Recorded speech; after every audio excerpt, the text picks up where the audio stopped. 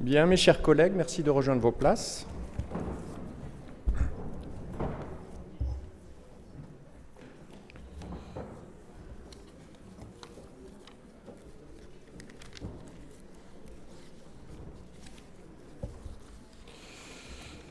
Euh, tout d'abord, qui était secrétaire de séance à la dernière séance? Donc, Josette Jacquet, secrétaire de séance? Merci. Euh, je dispose de deux pouvoirs, de Jean-Pierre Marchand à Marie-Catherine Ballereau lorsqu'il s'absentera, et de Brigitte Camps à Michel Hospital. J'ai d'autres pouvoirs ici, pardon. Voilà. Monsieur Charles Silière pour euh, Fatima Figues, Madame Sophie Bordery pour Monsieur Joël Oquelet et Monsieur Brouillon pour Martine Casavara. C'est ce que j'avais vu effectivement tout à l'heure. Très bien.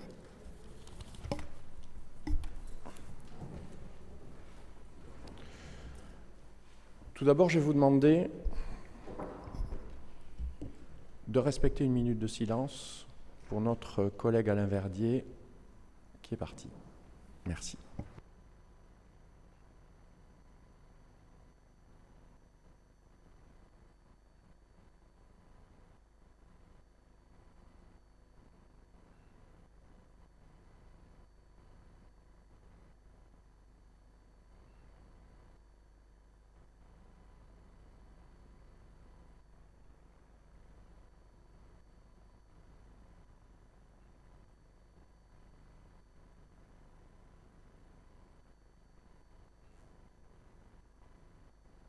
Je vous remercie.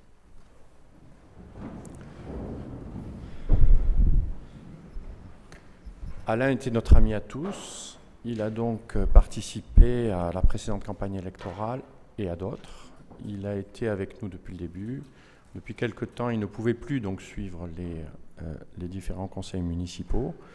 Euh, nous avons été tous euh, très affectés par sa disparition et nous nous associons à tous les hommages qui ont été donnés à sa famille, bien évidemment. Euh, nous allons tout à l'heure accueillir Jocelyne Hailey de manière euh, très officielle. Euh, merci d'avoir accepté de siéger dans cette, dans cette enceinte. mais il était normal que nous ayons donc un mot pour lui. deux petites données techniques. Première donnée technique, nous allons aujourd'hui voter, il y a une délibération concernant le PLU. Toutes les personnes membres de ce conseil qui ont formulé des demandes dans le cadre du PLU se doivent de ne pas participer au vote. C'est impératif, euh, sinon cela pourrait être pris pour, euh, pour un bénéfice euh, indu. Donc, surtout, ne prenez pas part au vote si vous avez formulé des demandes dans le cadre du nouveau PLU. Et dernier petit point avant de commencer cette séance, euh, vous savez qu'il y a aujourd'hui, alors c'est un domaine beaucoup plus, euh, euh, beaucoup plus gai, pardonnez-moi, il y a un concours d'affiches concernant les futures fêtes de Marmande du mois de juillet. Et vous pouvez voter vous aussi en tant qu'élu, n'hésitez pas, hein, parce que autant les années passées, il y a beaucoup de votants, cette année, il y en a un petit peu moins. Donc j'imagine que euh, vous avez tous la tête ailleurs et c'est bien normal avec tout ce qui se passe en ce moment. N'oubliez pas quand même de voter pour, euh, pour cette affiche des fêtes de Marmande. Je vous remercie. Je voudrais commencer cette séance d'abord, euh, non pas par un propos liminaire, mais par un PowerPoint liminaire, pour une raison très simple. Cela fait des années que nous avons des différences d'appréciation concernant le budget de la ville. Et j'ai pu lire ça et là des interprétations, voire des erreurs concernant euh, la pédagogie sur les chiffres de notre ville. Alors nous avons nous-mêmes effectivement en interne euh, notre propre comptabilité M14 et les chiffres ne sont pas tout à fait ce qui est ce qui ressort à la DGCL. Il y a des toutes petites variantes, mais rien de, rien de bien extraordinaire. Donc j'ai décidé de vous présenter un résumé de 2008 à 2017 euh, de la gestion municipale à partir des chiffres de la DGCL, donc des chiffres incontestables, puisque ce sont ceux du ministère des Finances qui sont donc collationnés et archivés dans, les ministères, et que vous pouvez tous consulter sur Internet en, en tapant donc alizé2.fr et en cherchant la rubrique commune et gestion communale. Donc là, vous avez tous les éléments euh, concernant les impôts locaux. Voilà l'évolution des impôts locaux tels qu'ils se sont déroulés de 2008 à 2017, avec, vous le voyez, entre 2008 et 2013, voire 2014, une évolution, somme toute, assez soutenue euh, des impôts locaux sur notre ville. C'est toute la fiscalité locale. Ça concerne euh, les trois taxes, donc foncier bâti, foncier non bâti, taxe d'habitation, avec un plateau à partir de 2014, puisque nous avons baissé le taux euh, de fiscalité, mais que vous savez qu'il y a une augmentation automatique en fonction du coût de la vie chaque année, donc qui a été annulée par, euh, par cette augmentation du coût de la vie. Il n'empêche qu'il y a une stabilité depuis 2014 avec une toute petite reprise en 2017, puisqu'en 2017, le taux d'augmentation a été, de mémoire, 1,4%, alors qu'auparavant, il était beaucoup plus faible d'une année à l'autre. Voilà l'évolution globale des impôts locaux. Et on peut voir sur la diapositive suivante le comparatif entre Marmande et la Strate, donc toujours les chiffres DGCL, en euros par habitant de toute la fiscalité locale. Vous voyez qu'il y a un certain écart en, 2018, en 2008 et que cet écart se restreint petit à petit jusqu'en 2016. Qu'en 2017, il remonte un petit peu parce que beaucoup de communes en France ont baissé leur fiscalité. Et nous, nous ne pourrons pas le faire encore cette année, mais nous le ferons bientôt, je l'espère, de manière assez sensible, euh, par une redéfinition donc de nos outils. la diapo suivante, c'est la DGF totale. Vous voyez que, suivant les chiffres de la DGCL, nous étions pratiquement à 3 400 000 en 2008, jusqu'en 2013, 3 600 3 700 000, et ensuite nous avons chuté jusqu'en 2017 à 2 600 000, 2 700 000. donc nous avons perdu 1 million d'euros chaque année. Nous perdons 1, million d'euros euh, de recettes dues à la baisse des dotations d'État qui maintenant sont stabilisées, heureusement, mais qui nous coûtent sur nos comptes.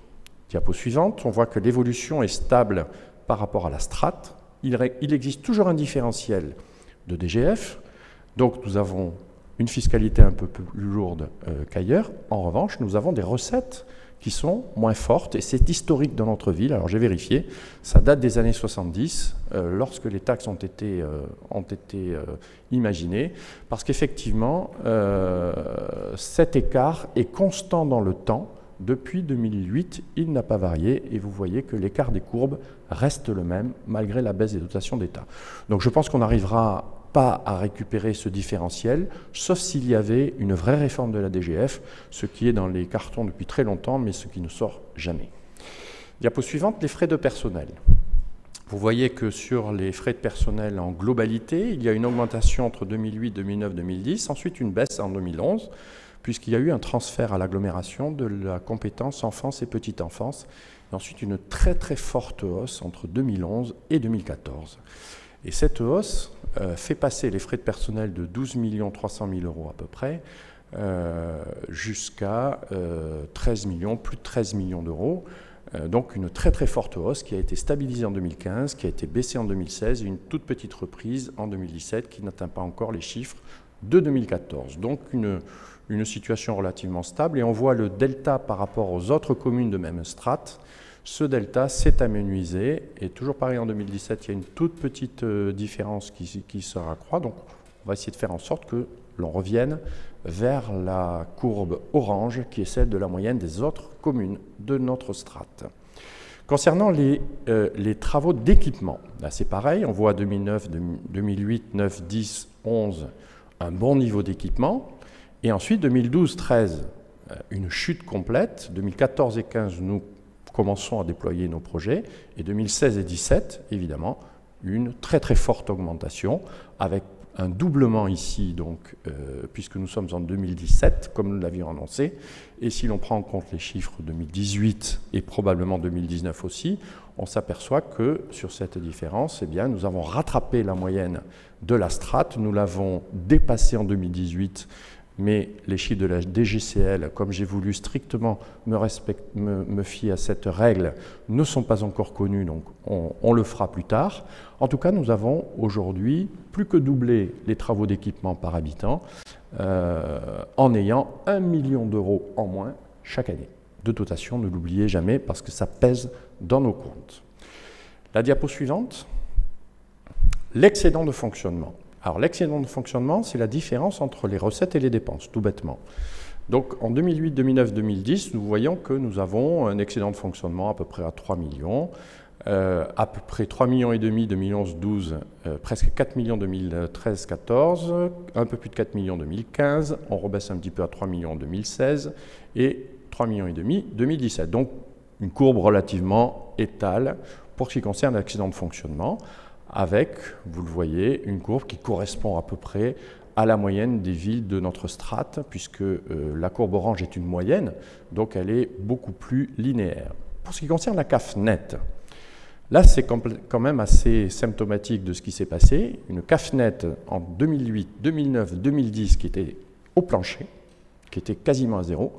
2011, 2012, 2013, un rétablissement des comptes. 2014, 2015, d'excellents résultats. 2016, c'est là où nous avons perdu 1 million d'euros de dotation d'État, euh, presque 200 000 euros, 1 million 800 000 euros. Et 2017, nous avons pris acte, nous avons modifié certaines choses, nous sommes donc à un peu plus de 600 000 euros. Sachant que 2016, on revient pardon, sur la précédente, sur la précédente, pardon, 2016, si vous rajoutez 1 million d'euros dans l'autre, la suivante, voilà. Si vous rajoutez 1 million d'euros à la celle de 2016, eh bien on se trouve bien évidemment très au-dessus de toutes les autres. Donc cette chute brutale en 2016 nous a beaucoup coûté en matière budgétaire. On peut avancer. Le comparatif CAFNET Marmande par rapport à la strate, nous sommes en dessous, donc ce sont des efforts qu'il va nous falloir faire parce qu'après avoir euh, frisé la correctionnelle entre 2008 et 2010 et après l'accident de 2016, eh bien, il va nous falloir continuer l'évolution de 2017 et faire des efforts sur cette CAFNET. Concernant les emprunts, là il y a eu une petite polémique au sujet des emprunts. On voit très bien que 2008-2009, nous sommes à 2,5 millions d'emprunts par an, donc de nouveaux emprunts contractés par an, 500 000 en 2010, à nouveau 2,5 millions, 2,7 millions en 2012, et ensuite, on baisse régulièrement. 2013, un petit peu moins, c'est-à-dire 2 millions, sachant que nous remboursons 2 200 000 euros par an, ce qui veut dire que tout ce qui est au-dessus de 2 200 000 euros, c'est un accroissement de la dette de la ville. Et tout ce qui est en dessous, c'est une baisse de la dette de la ville.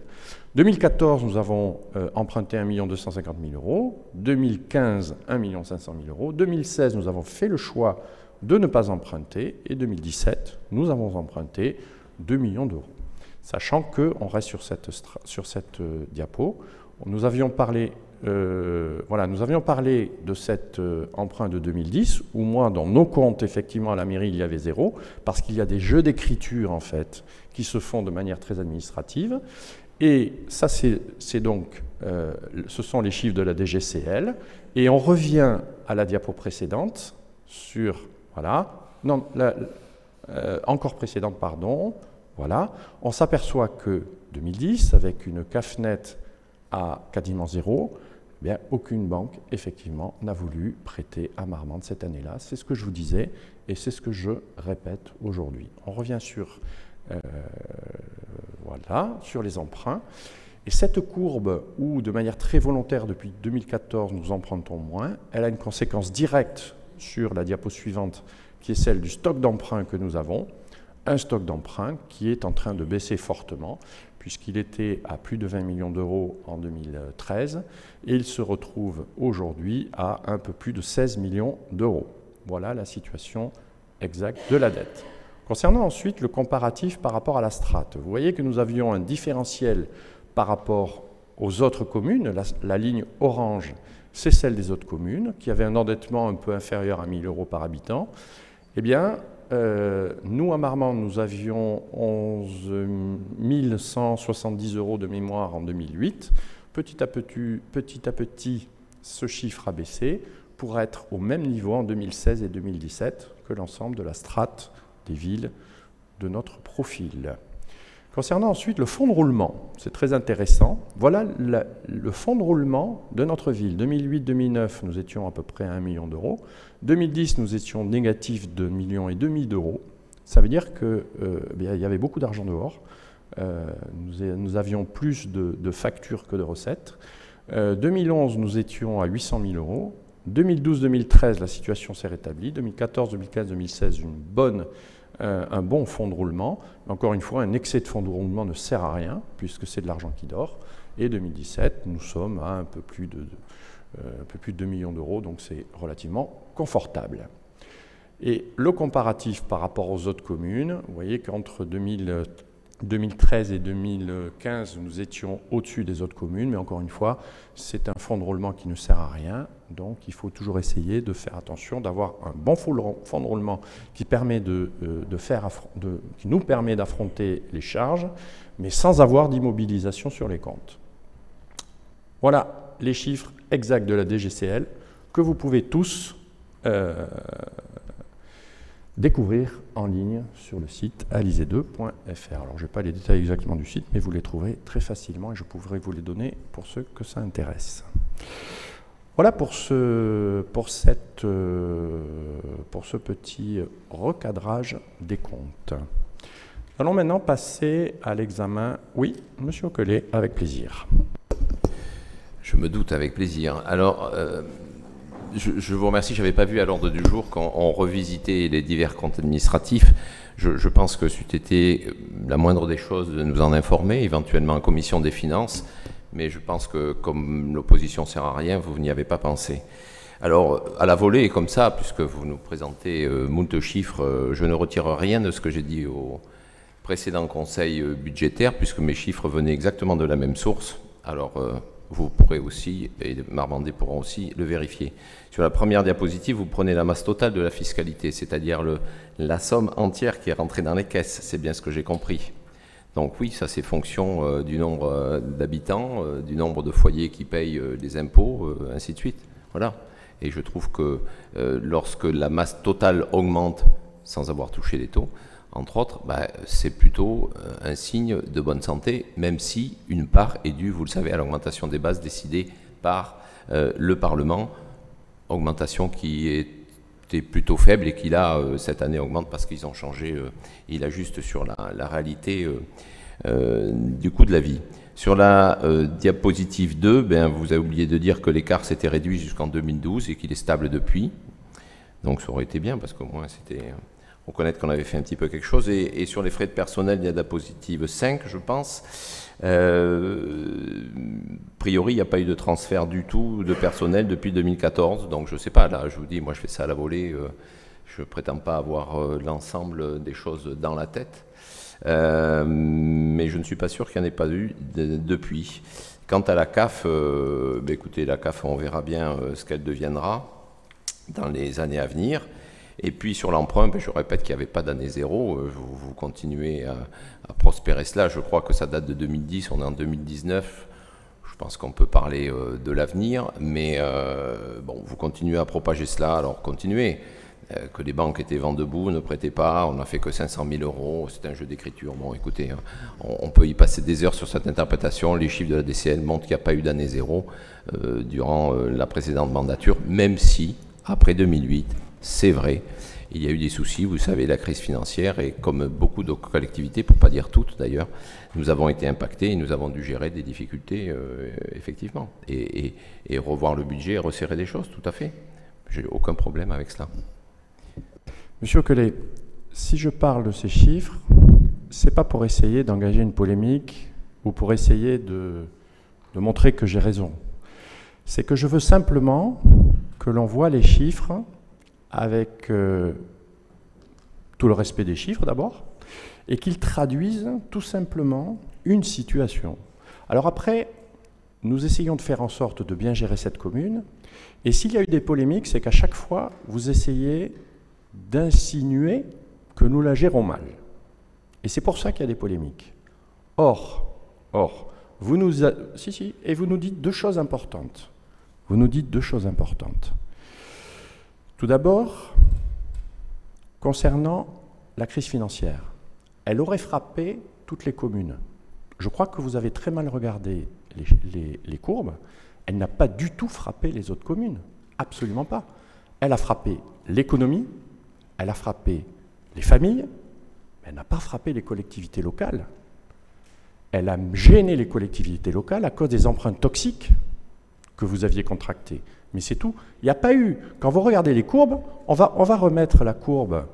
On va remettre la courbe. Euh, la courbe sur euh, au début sur euh, voilà celle-ci non un peu plus bas pardon encore plus bas encore plus bas encore plus bas voilà un peu plus haut pardon un petit peu les frais de personnel, non, ça c'était les frais de personnel, donc euh, voilà. La DGF, est-ce qu'elle a été affectée là? Elle n'a pas été affectée pendant ces années-là. Et ensuite, si l'on regarde plus bas les recettes, euh, c'est-à-dire euh, l'excédent de fonctionnement, voilà, l'excédent de fonctionnement, l'excédent de fonctionnement, le comparatif avec la strate avec la strate.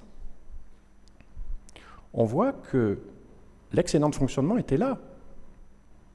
Il n'y a pas eu de crise dans les collectivités locales à ce moment-là. Quand on fait plus de 200 euros par, 200 euros par habitant d'excédent, il n'y a pas de crise. La crise était économique et dans les familles. Donc je crois qu'il faut arrêter de dire n'importe quoi. Et 2014, Jusqu'en 2014, il y a eu de grosses difficultés, je vous l'accorde. Mais tout ce que nous disons, c'est que nous avons eu, nous aussi, nos difficultés avec la baisse des dotations d'État, mais nous avons réagi. Et vous êtes systématiquement en train de faire croire à tout le monde que nous n'avons rien fait. Eh bien non, nous avons fait beaucoup. Et quand on regarde les profils, euh, la courbe juste en dessous, voilà, les profils de CAFNET, on s'aperçoit vraiment qu'il y a un problème. C'est ça qui est intéressant. Alors vous pouvez me parler de la CAFNET. Bon, moi je ne suis pas là pour faire des polémiques, je suis là pour expliquer la situation. Et je pense que là, vous avez une explication qui est tout à fait rationnelle. Voilà ce que je voulais dire, mes chers collègues. Ce n'est pas un point d'ordre du jour. Alors, concernant, vous, nous dites, vous euh, je ne sais pas ce qui vous arrive, mais vous démarrez fort là, ce n'était pas l'ordre du jour. Qui est maître de l'ordre du jour? Eh bien oui. Et si j'ai envie de rectifier un point, je le rectifie et ce pas vous qui allez me dire de ne pas le rectifier. Donc ça, c'est rectifié, c'est rectifié. Non, non, mais non. Ça fait partie de mon discours liminaire. Ça fait partie de mon discours liminaire. Voilà. Je vous l'ai dit, c'est un PowerPoint en mode liminaire. Voilà. Ben, c'est comme ça. Que ça vous plaise ou non, c'est comme ça, monsieur Okelé. Monsieur Cerruti, un mot, monsieur Cerruti? Non, je constate une évolution, c'est qu'au lieu de mettre charge de personnel, vous avez mis frais de personnel. Euh, bravo. Je vous l'avais dit. Euh, non, mais sur le fond, euh, c'est difficile de réagir sur ce que vous donnez pour donner une lecture. Moi, je ne vais pas revenir sur ce que j'ai déjà dit sur le fond. Moi, je pense qu'il y a eu une, une équipe municipale précédente qui a fait son boulot. La population a décidé d'en élire une autre. C'est maintenant à vous de gérer les affaires. Et puis nous, nous, nous, nous, exprimons un point de vue sur les choix. Euh, ensuite, ce sont les gens eux-mêmes qui, qui, apprécieront si ça convient ou pas. Moi, je crois que ce n'est pas la peine de revenir en permanence. Après, il y a le débat. On est bien d'accord. Sur le fond, moi, j'ai des priorités qui ne sont pas les vôtres. Moi, je respecte les vôtres. C'est le débat. Euh, je crois que c'est... Euh, on ne peut pas se mettre d'accord sur tout. On assume un choix politique moi, j'assume les miens, vous assumez les vôtres. Ce n'est pas un problème de, dire n'importe quoi, comme vous dites parfois. Je crois que c'est chacun assume des choix. Voilà. Et ensuite, la population, elle est assez grande pour apprécier si ça convient ou pas, quels sont les obstacles, est-ce qu'ils ont été dépassés. Voilà. C'est tout ce que je voulais dire. Moi, je crois qu'il faut créer les meilleures conditions pour qu'il y ait une réflexion sur les questions qui ont à voir avec la vie des gens. Voilà. Merci. Je suis, tout à fait d'accord avec votre analyse, M. Siruti. Mais il faut quand même comprendre que lorsqu'on reçoit des critiques, premièrement, il faut que les critiques soient fondées, Et deuxièmement, il faut avoir balayé devant sa porte. Ce n'est pas tout à fait le cas quand même. Ça veut dire que les explications que je donne sont pour recadrer les choses. Simplement. Ce n'est pas pour rentrer dans une polémique. Je recadre les choses et là, c'est incontestable. Voilà. Allez, nous allons passer au premier point à l'ordre du jour.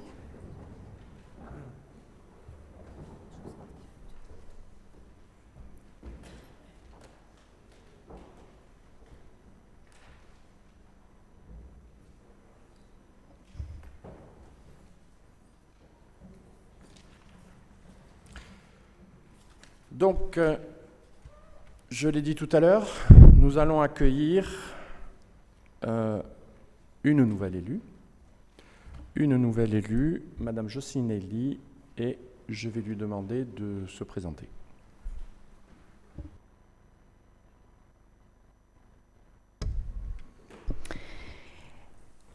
Monsieur le maire, Mesdames, Messieurs les élus, Mesdames, Messieurs, ce n'est pas sans émotion que je m'adresse à vous ce soir et que je prends aujourd'hui la fonction de conseillère municipale au sein de la mairie de Marmande.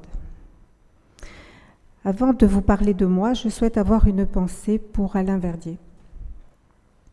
Alain nous a quittés récemment et nous pouvons nous accorder à dire euh, combien nous garderons le souvenir d'un homme très impliqué sur notre territoire et extrêmement apprécié.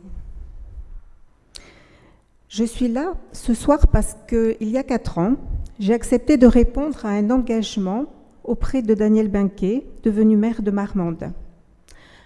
Je tiens à le remercier pour la confiance qu'il a eue à mon égard. Durant cette dernière année de mandat, j'assumerai au mieux mes fonctions de conseillère municipale en contribuant au bon développement de la ville de Marmande. Je serai au service de tous les Marmandais dans le plus grand respect d'autrui, en valorisant le bien vivre ensemble. Marmandaise depuis 40 ans, j'ai créé, durant ma carrière, trois entreprises spécialisées en or floral et en événementiel. En complément de mes fonctions de chef d'entreprise au cours de 25 années, j'ai eu un intérêt particulier à former de jeunes apprentis.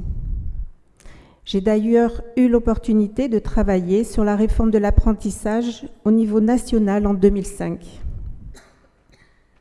J'ai également été formatrice dans un lycée agricole départemental durant six années. Pardon. Mes dernières fonctions m'ont amené à travailler dans le domaine social auprès du CCS de Marmande, en tant que chargée de mécénat social et d'animatrice auprès des seniors. Une riche expérience qui m'a permis de prendre connaissance des difficultés et de certaines attentes des Marmandais. Être sur le territoire, c'est aussi être impliqué dans le monde associatif. J'ai participé très activement depuis 30 ans et ceci en tant que présidente et membre de divers bureaux, présente également au conseil d'administration d'une fédération départementale. C'est le fruit de toutes ces expériences professionnelles et personnelles que je souhaite mettre au profit de cette municipalité. Et c'est pourquoi je m'engage aujourd'hui devant vous. Monsieur le maire, mesdames, messieurs, je vous remercie pour votre attention. Merci Jocelyne et bienvenue donc dans cette assemblée. Merci. Donc nous prenons acte euh, de la nomination de Jocelyne Elie en tant que conseillère municipale. Dossier numéro 2, dossier numéro 2, présentation du rapport d'activité 2018 de la communauté d'agglomération du Val-de-Garonne. Vous savez que chaque année, nous, euh, nous vous présentons ici le rapport d'activité. D'abord, c'est un élément légal. Et ensuite, c'est aussi un vrai plaisir, puisque euh, cela permet de montrer ce que fait l'agglomération au meilleur bénéfice des Marmandais.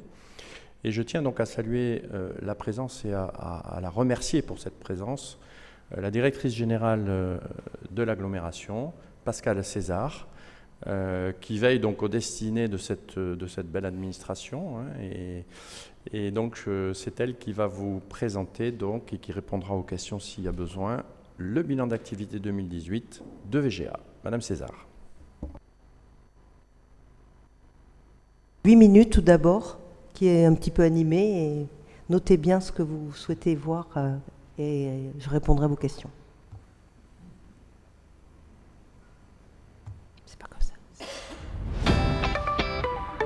Bonjour et bienvenue en Val-de-Garonne. 43 communes, 62 200 habitants, 400 agents au service de la population, voici Val-de-Garonne Agglomération. Venez avec moi et découvrons ensemble ce qui s'est passé l'an dernier sur notre beau territoire. 2018, un territoire en mouvement. D'abord, une naissance. Voici Val-de-Garonne Attractive, un collectif pour valoriser notre destination et encourager une nouvelle dynamique territoriale. Ensuite, la concrétisation de partenariats avec de nombreux acteurs. Bordeaux Métropole et la communauté de communes du Réolais en Sud-Gironde sur différents dossiers, agriculture, tourisme ou encore mobilité, mais aussi avec la région Nouvelle-Aquitaine, que ce soit sur le plan économique ou bien dans le domaine des transports, ou encore avec la Chambre d'agriculture pour recenser les friches agricoles et lutter contre la grêle, ou avec la Caisse d'allocation familiale pour préparer une nouvelle convention globale territoriale. 2018, c'est aussi deux belles victoires, avec les labels Territoire d'industrie pour renforcer notre tissu industriel et Action Cœur de Ville, des financements pour dynamiser nos centres-villes. Le tout sur un territoire connecté. Déjà 80 services en ligne accessibles depuis les sites internet de l'agglomération et de 15 communes du territoire. L'accès facilité au très haut débit avec 98% du territoire couvert par la 4G fixe et l'engagement de raccorder tout le Val-de-Garonne à la fibre optique d'ici fin 2023. 44 commerçants pour acheter local et en ligne et 13 communes soutenues pour créer leur site internet.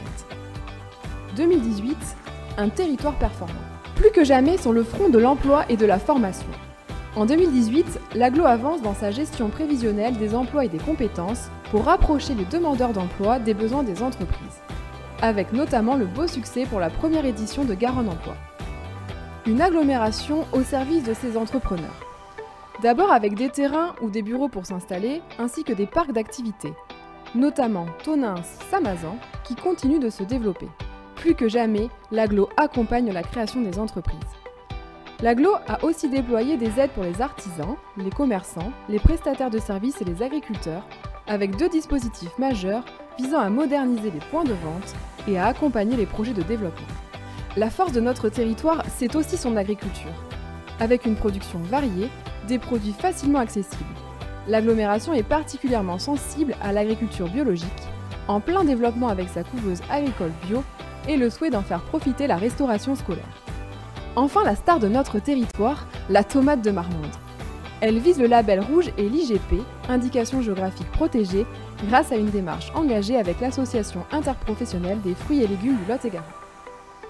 2018, un territoire ultra vivant. Avec ses 23 millions d'euros de retombées économiques, le Val-de-Garonne prouve qu'il a de sérieux atouts touristiques. Principale nouveauté lancée en 2018, le projet de redynamisation de la maison de Jean de Garonne et de nos 5 haltes nautiques. Sans oublier le beau projet de voie verte, 23 km de balade entre Marmande et Casteljaloux sur une ancienne voie ferrée. Le territoire, plein de vitalité, a vibré au rythme d'une dizaine de manifestations soutenues par l'aglo. Mange Livre, les concerts de Staccato, le festival lyrique en Marmandais, la BD dans le Pré, le festival BD de Clérac, Mondo Clown, le festival international de journalisme, Itinérance Jazz et Garonne. Et bien sûr, le Garo Rock, le festival des records. Plus de 16 000 festivaliers transportés gratuitement avec les bus de l'aglo et 2600 festivaliers venus se rafraîchir à Aquaval. 2018, un territoire au service de ses habitants. En 2018, près de 260 000 voyageurs ont emprunté les bus de notre réseau Evalis et 2151 enfants ont utilisé les 49 lignes de transport scolaire. L'agglomération prépare la mobilité de demain avec la poursuite du projet des pôles multimodaux autour des gares de Marmande et de. La jeunesse reste une de nos priorités. Tout est mis en œuvre pour garantir un accueil optimal des plus petits et poursuivre la mise en place d'aménagements. Et aussi 2600 enfants inscrits dans nos 6 centres de loisirs. En parallèle, le programme Terra d'Or Jeunesse séduit les 13-30 ans et le projet de rénovation de l'îlot des Capucins à Marmande est arrêté. Ça bouge aussi côté sport. Nos équipements aquatiques font le plein et se modernisent. Clin d'œil cette année, 2456 enfants ont fait leur première brasse ou perfectionné leur crawl dans les piscines d'Aquaval. Agir sur le cadre de vie de nos habitants. Je vous parlerai d'abord de l'équipe Habitat, de ses conseils gratuits et de ses aides financières. L'agglomération gère aussi l'urbanisme de 34 communes du territoire. L'aglo, c'est aussi des programmes ambitieux pour nos villes et villages, comme la politique de la ville, avec deux quartiers prioritaires bénéficiant d'actions spécifiques à Marmande et Tonins. Enfin, l'aglo bouge avec l'Europe. Son programme leader, ses aides au financement et ses coopérations artistiques. Et agir pour notre attractivité médicale. Après les sites de Gardol à Tonins et Simone Veil au Mas d'Agenais, les élus ont lancé en 2018 le projet de création d'une troisième maison de santé à Clérac.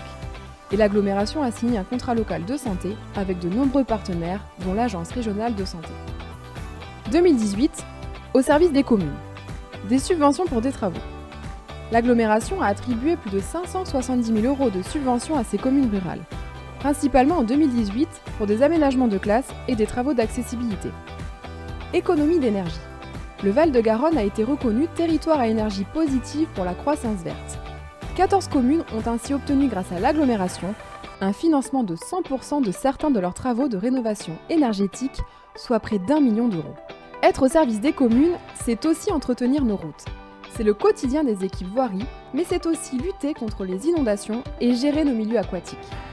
Les élus ont validé un programme de diagnostic sur 160 km de digues classées ou non classées. Et l'année a été marquée par deux inondations, dont celle du printemps, qui a occasionné près de 100 000 euros de travaux pour consolider certaines digues endommagées. 2018 et l'environnement. Gérer les déchets. Le ramassage des déchets reste une priorité en 2018. Devenue obligatoire en 2016, la carte d'accès aux déchetteries fait désormais partie du quotidien des habitants, particuliers et professionnels. Gérer, sensibiliser et recycler. L'équipe environnement effectue également un important travail de sensibilisation au moyen d'animations et d'événements. Les prémices d'un engagement fort de l'agglomération sur le chemin de l'économie circulaire et toujours agir en faveur de l'environnement. Par exemple, avec l'achat de 10 véhicules électriques pour les déplacements professionnels des agents, la réalisation d'audits énergétiques sur deux bâtiments de l'aglo, ainsi que la finalisation du diagnostic pour notre futur plan climat air énergie territorial. Budget 2018. Un tel dynamisme repose sur l'existence d'un budget rigoureux et porteur d'avenir. 94 millions d'euros en 2018 dont 14 millions d'euros d'investissement dans des équipements structurants pour le territoire. Le tout sans hausse de fiscalité pour nos concitoyens et avec une réelle maîtrise des dépenses de fonctionnement. Une sérénité budgétaire atteinte grâce aux choix politiques des élus et aux efforts de gestion des services communautaires. Et voilà pour 2018. Pas facile de résumer toute une année en quelques minutes. Alors, si vous avez besoin d'en savoir plus, n'hésitez pas à nous contacter. Ici, ou là, ou encore ici. Quant à moi, je vous donne rendez-vous l'année prochaine. D'ici là, le Val-de-Garonne vous salue.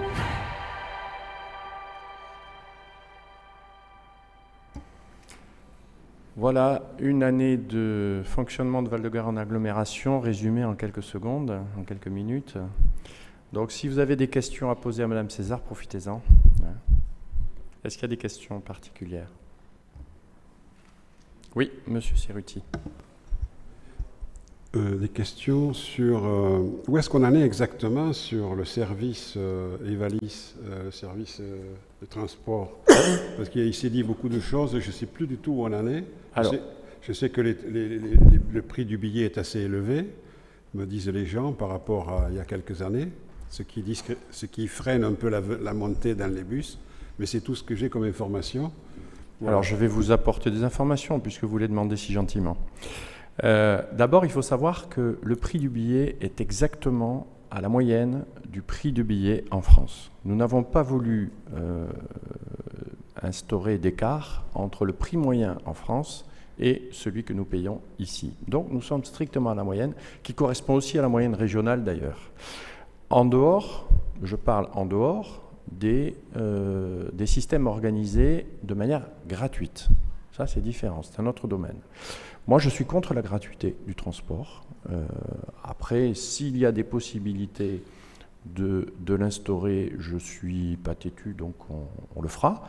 Mais par principe, je suis contre, parce que lorsqu'il y a des déficits, c'est de toute façon quelqu'un qui les paye. Et ce quelqu'un, c'est le contribuable. Donc soyons prudents avec ça. Si euh, une gratuité peut s'appuyer sur des recettes qui soient équivalentes aux dépenses, Oui, mais c'est très difficile à obtenir. Si la gratuité entraîne un déficit de services, et nous avons déjà connu en début de mandature un très fort déficit de services des transports, je vous rappelle, nous étions à 700 000 euros de déficit par an dans les transports, eh bien là, non, parce que qui paye, c'est le contribuable, c'est tout le monde, même ceux qui ne prennent pas le bus. Donc attention à ce genre de, choses. Ensuite, où en sommes-nous dans la DSP euh, Dans les marchés, pardon. Alors effectivement, il y a eu euh, des marchés qui ont été passés. Euh, sur le plan réglementaire, je ne sais pas si on peut en parler aujourd'hui, je crois que oui. Ce n'est pas complètement bouclé, donc on ne peut pas en parler. Mais il y a eu à un moment des inquiétudes à juste titre, hein, de la part des, conducteurs, des employés de, de, la société qui assure aujourd'hui donc le transport. Ces inquiétudes ont été levées parce que j'ai personnellement pesé beaucoup pour que les, les, conditions de reprise soient strictement conformes à ce qui existait auparavant. Et je l'avais annoncé en commission d'attribution, s'il y avait un écart dans la prise en charge sociale de, des agents, je déclarerai cet euh, appel d'offres infructueux. Ça n'a pas été le cas et le nouveau délégataire a été choisi à l'unanimité des membres de la commission euh, qui regroupe toutes les tendances euh, de notre agglomération. Donc ça veut dire qu'il y a eu un bon, un bon candidat, que j'espère qu'il sera aussi un bon gestionnaire du système de transport. En tout cas, il n'y a plus que il y a comme hypothèque une seule personne qui peut se retrouver éventuellement dans la difficulté, et pour laquelle nous allons trouver une autre solution en interne, directement par l'agglomération, euh, parce qu'il semblerait que son profil ne corresponde pas aux attentes des, euh, des personnes déjà choisies dans les, dans les marchés. Mais nous ne laisserons personne sur le carreau. Je me suis engagé directement auprès des agents et je respecterai ceci. Voilà. Oui. Pardon, je, n'avais pas terminé. Euh, moi, je suis favorable à la gratuité pour quelle raison? D'abord parce que vous parlez de moyenne, mais ici on a quand même une, population qui est quand même, euh, notamment à Marmande, assez modeste, on va dire, si on s'en tient aux, dérogations euh, au niveau de la taxe d'habitation. On a, bien vu la dernière fois qu'on avait une population assez, pauvre, on va dire. Et la deuxième raison, c'est qu'on parle beaucoup du climat et euh, du tout voiture, faire reculer le tout voiture il faut véritablement faire un choix politique. On parlait tout à l'heure de choix, même si ça coûte. Pour moi, ça vaut le coup d'aller vers la gratuité. Après, c'est un débat, je suis d'accord. Voilà, je donne mon opinion. Ensuite, euh, les 153 ou 157 logements qui ont été rénovés, c'est sur l'année et sur le territoire. Ensuite, euh, la question la, du label rouge, la IGP sur la, tomate, où est-ce qu'on en est? Et euh, la voie verte, où est-ce qu'on en est? Allez-y, Madame Effectivement, il, y a, il, faut bien distinguer le transport scolaire et le transport urbain. Euh, aujourd'hui, on va prendre une. La tarification n'est pas encore tout à fait arrêtée à l'agglomération, puisque ça démarre en septembre. On est en train de. Voilà, le marché, il sera, opéra, enfin, il sera hum, opérationnel en septembre. Euh, on, sera sur l'idée d'une tarification sociale, puisqu'on va quand même euh, favoriser tout ce qui est personnes demandeurs d'emploi, etc. Donc ça, ça n'existait pas aujourd'hui, ça va se mettre en place. Donc il y aura des facilités euh, sur les transports urbains pour toutes les personnes en, difficulté sociale. Sur les transports scolaires, il y a aussi de la dégressivité pour les familles. Ça fait partie des choix qui ont été faits également, de favoriser des tarifs plus, bas pour des familles qui ont plusieurs enfants. Euh, sur les logements, euh, oui, effectivement, c'est le nombre de logements. Sur le label euh, rouge et IGP, donc indication géographique protégée, la démarche est engagée aujourd'hui avec l'association interprofessionnelle des fruits et légumes du Lot-et-Garonne et il y a des réunions suivies auprès de l'INAO, etc. C'est tout à fait. Alors il y a peut-être M. Marchand qui est là de la commission agriculture qui en sait plus que moi, mais je sais que c'est complètement un processus engagé sur lequel on a bien l'intention d'aboutir. Euh, la dernière question, c'était... La voie verte. La voie verte. Alors aujourd'hui, les acquisitions foncières sont faites auprès de la SNCF. Euh, nous avons fait également une étude sur l'expertise des ouvrages d'art qui nous a permis effectivement de savoir sur quoi on s'engage et euh, des contacts fréquents avec euh, Coteau et Landes de Gascogne pour voir effectivement euh, un chantier qui devrait démarrer dès, 2019 puisqu'aujourd'hui on est sur le démantèlement, des, des, rapprochements avec l'autre communauté pour voir effectivement comment on engage ensemble éventuellement les marchés.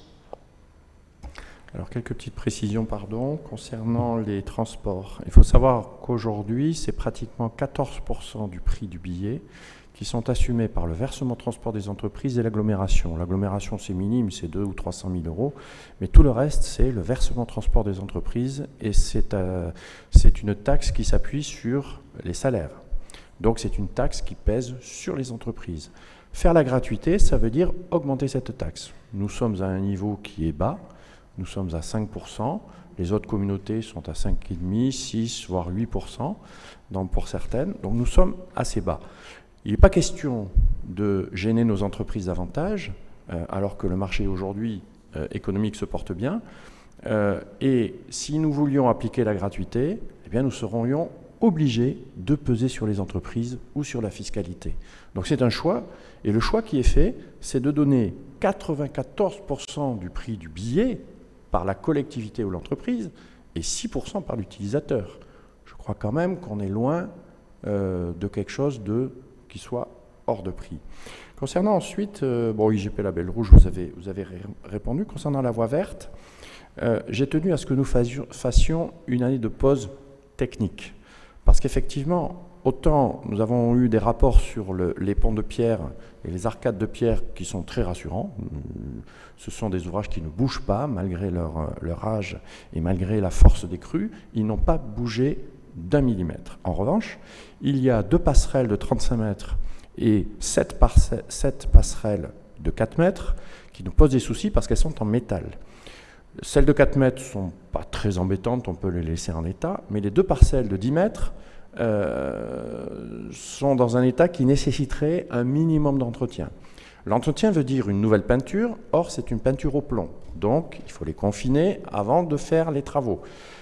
Euh, on a calculé, on est à plus de 700 000 euros par passerelle de 10 mètres. Ce qui veut dire que euh, le plus judicieux, a priori, serait de l'échanger. Et là, nous, avons, nous sommes dans cette phase où nous essayons de voir quel est le plus judicieux, le moins cher pour, euh, l'agglomération concernant ces passerelles. Sachant que le fer qui va être récupéré non seulement des parcelles mais aussi des voies va nous permettre d'amortir une grande partie du prix quand même des travaux. Voilà. Donc on en est là aujourd'hui, on affine un petit peu le dossier. Côté Coteau et l'Andegation, ils vont un peu plus vite que nous parce qu'ils n'ont pas d'ouvrage d'art de cette dimension-là. Mais je veux que nous prenions toutes les précautions d'usage parce que d'abord c'est la sécurité des personnes et aussi parce que les, élus de l'agglomération avaient une certaine crainte sur ces ouvrages. Donc je tiens à ce qu'on fasse les choses vraiment de, la manière la plus correcte possible pour éliminer toutes les, euh, euh, toutes les incertitudes et toutes les craintes. Voilà. Deux questions sur l'agglomération. Alors moi, je voudrais quand même dire un mot sur, euh, pas sur l'administration elle-même, parce qu'elle est, euh, les deux administrations, ville et agglo, sont, je crois, aujourd'hui très compétentes, très performantes et très novatrices, donc c'est très bien, il faut continuer comme ça. je voudrais juste dire un mot sur l'activité économique, parce que l'activité économique, depuis que nous avons pris en 2015 euh, la compétence économique en interne, ce qui était une gageure, euh, parce que tout le monde nous en dissuadait à l'époque, eh bien les choses vont bien, les choses vont bien. Alors ce n'est pas uniquement lié à ça, hein, bien évidemment, parce que ce n'est pas parce qu'on prend la compétence en interne que l'économie va bien, mais ça permet de répondre plus directement aux besoins des entreprises. Et on l'a vu plusieurs fois avec des porteurs de projets qui se sont adressés à nous. Nous avons pu aller peut-être un peu plus loin que ce qui se faisait avant. Nous avons pu offrir plus de garanties, avoir une prise directe avec les, avec les prospects, et ce qui fait qu'il y a eu plusieurs implantations. Et euh, quand on voit aujourd'hui les, euh, euh, les effets induits des égétaires, donc des états généraux de l'économie territoriale, avec tout ce qui s'est passé à la suite, c'est-à-dire les clubs d'entreprise, la la, ça y est, j'ai mangé le mot. Euh, la GPECT, c'est-à-dire la gestion territoriale des emplois et compétences euh, prospectives, eh bien on voit qu'aujourd'hui on est de plus en plus à l'écoute des entreprises et de leurs besoins, notamment en matière de formation. Et Madame Lydie euh, Angélique, qui est là, va peut nous le confirmer, avec euh, trois formations, plus une qui arrive, qui ont ouvert à la CFP. Donc nous sommes vraiment en adaptation directe avec les besoins de nos entreprises. Et quelle est la conséquence de tout ça? Eh bien, nous sommes le la seule zone d'emploi de Lot-et-Garonne aujourd'hui qui voit baisser son chômage.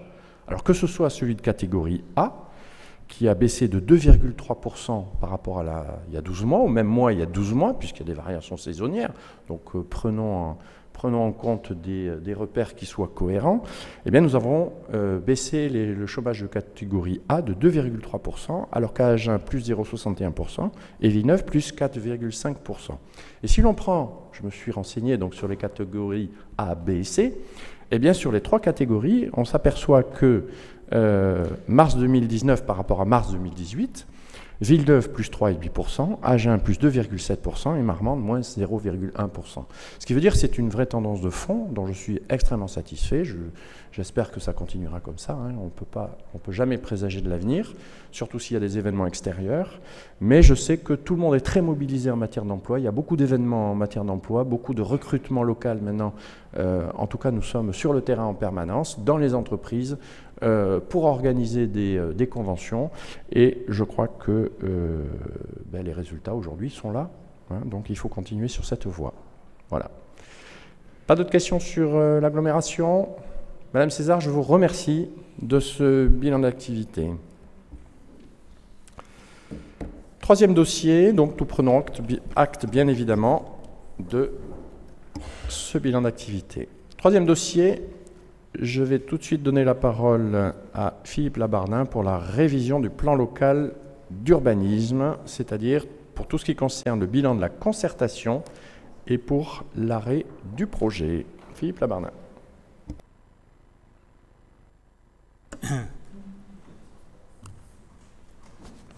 Voilà, monsieur le maire, chers collègues, euh, donc notre PLU actuel a été approuvé euh, le 24 octobre 2014. Euh, le SCOT, lui, a été approuvé donc, le 21 février, 21 février 2014. Notre PLU est une étape importante parce qu'il fixe les objectifs en termes de développement pour les dix prochaines années, donc soit environ, dans le scénario le plus élevé, 1420 constructions. Force est de constater que notre PLU actuel, s'il avait le mérite de fixer le cadre pour le développement de la ville, il aura aussi permis aux autres communes environnantes qui n'avaient pas de PLU d'assurer un développement à notre détriment. Ces communes subissent maintenant les mêmes contraintes que nous avons.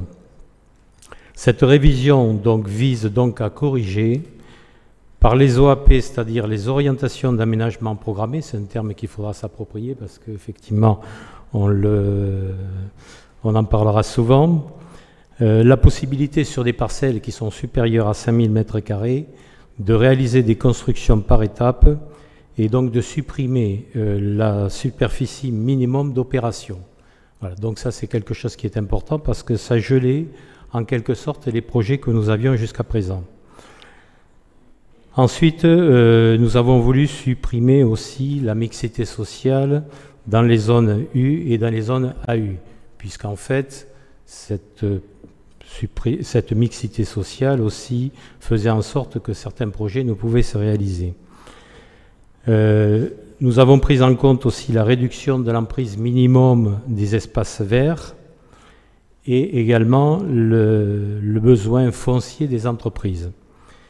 Voilà. Et ensuite, un volet très important qui concerne les orientations d'aménagement programmées sur le commerce. où en sommes-nous aujourd'hui dans les étapes et dans la chronologie de cette révision? Donc le PLU a été lancé en novembre 2015, euh, la mise à jour du diagnostic en 2017, nous avons eu des réunions publiques donc avec le PADD qui est le programme d'aménagement et de développement durable qui prend en compte les orientations de la ville pour les dix prochaines années. Une réunion publique après qui a eu lieu donc en janvier 2019 et là où nous avons pris en compte les demandes qui étaient accessibles de l'ensemble des propriétaires qui souhaitaient effectivement voir leur terrain constructible. Entre-temps, donc, à la suite de ces réunions, nous avons consulté les services de l'État et nous avons eu deux réunions de concertation, le 15 février et le 19 mars. D'ailleurs, nous vous en donnerons un petit peu les conclusions tout à l'heure. Et aujourd'hui, donc, nous sommes dans un bilan de concertation et donc nous devons arrêter aujourd'hui le PLU. Ensuite va commencer d'autres étapes. Donc de mi-mai à mi-août, il y aura la consultation des services de l'État et des personnes publiques associées. Donc nous, transmettrons suite à ce jour donc, les dossiers donc, à l'ensemble de ces personnes. Euh, la consultation va durer à peu près trois mois.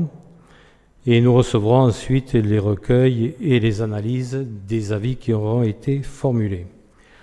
En septembre 2019, donc va commencer l'enquête publique avec euh, le recueil de l'ensemble euh, des avis. Donc en fait, nous allons demander à toutes les personnes qui se sont manifestées de venir effectivement au niveau de cette enquête publique pour euh, faire en sorte qu'ils puissent valoriser leurs arguments hein, par rapport au dossier ou, au terrain qui ne serait pas pris en compte.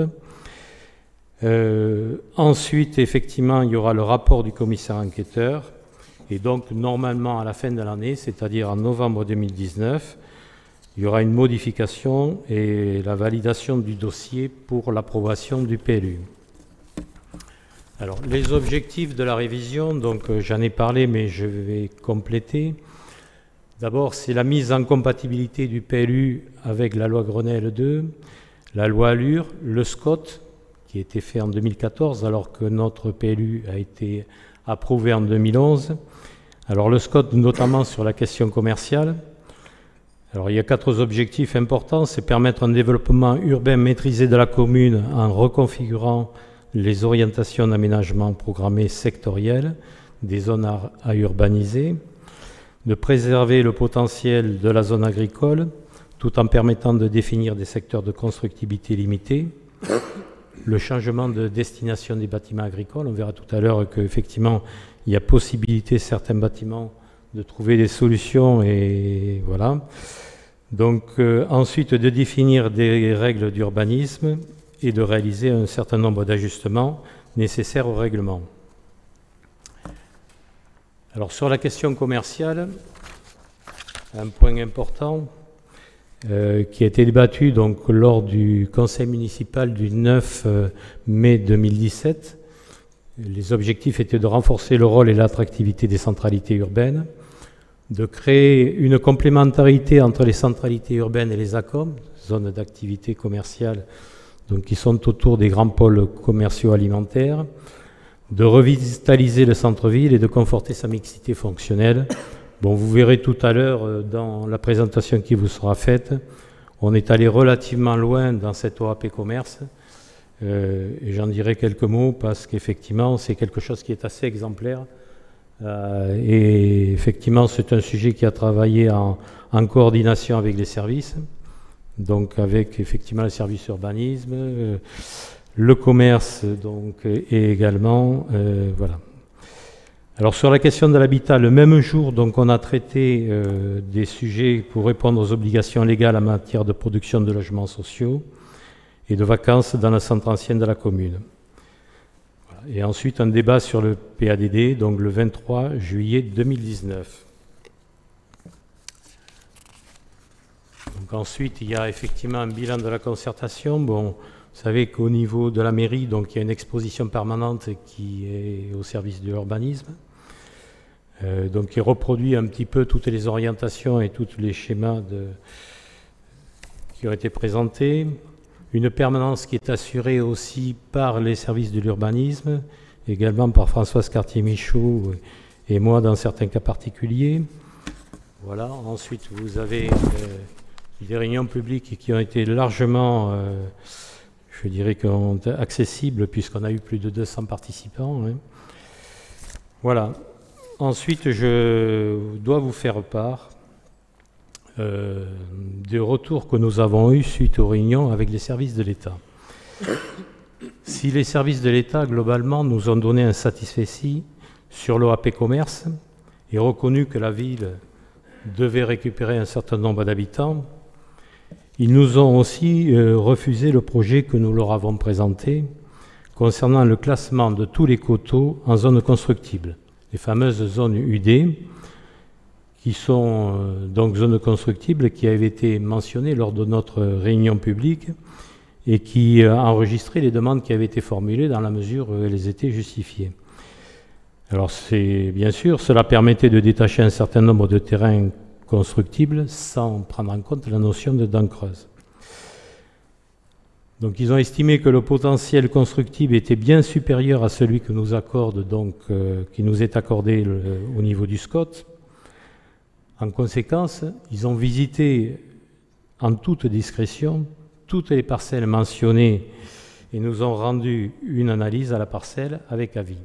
C'est-à-dire qu'effectivement, nous nous sommes retrouvés avec des avis défavorables et nous avons dû nous conformer à la proposition qui nous était faite sous, risque de prendre, sous prendre un risque d'illégalité donc en fait, très clairement, toutes les parcelles que nous avions envisagées, en quasi-totalité, pas tout à fait, mais en quasi-totalité, nous ont été refusées. Voilà. Et donc, nous avons reçu à ce titre un courrier officiel de la DDT.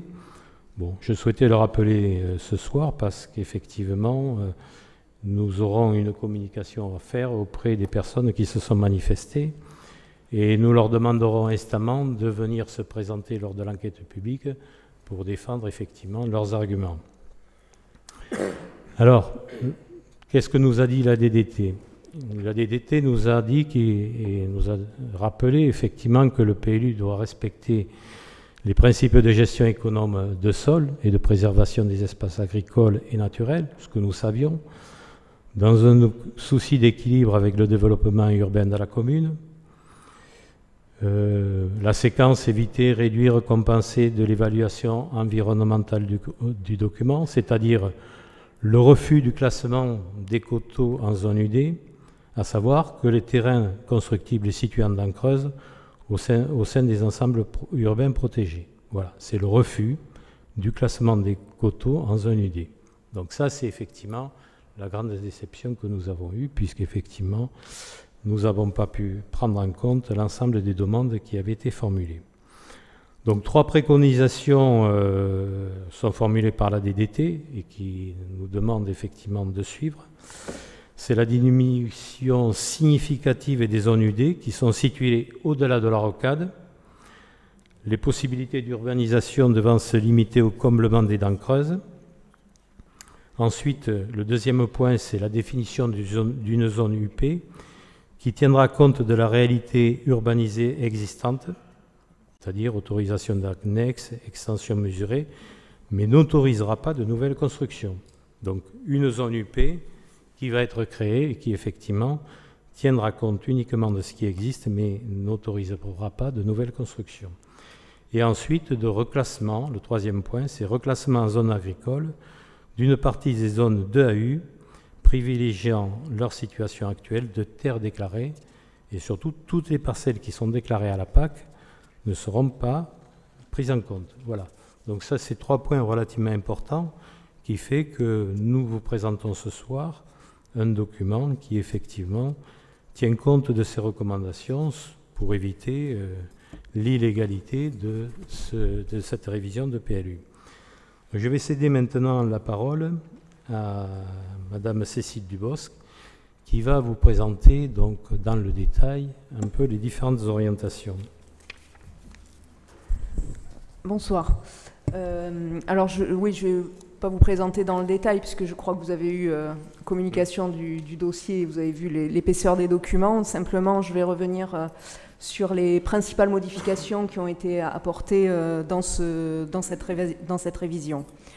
Donc pour commencer, les principales euh, orientations du PADD, ce qu'il faut retenir, c'est que ces principales orientations n'ont pas été modifiées par rapport euh, à votre PLU actuel, celui qui était approuvé en 2011.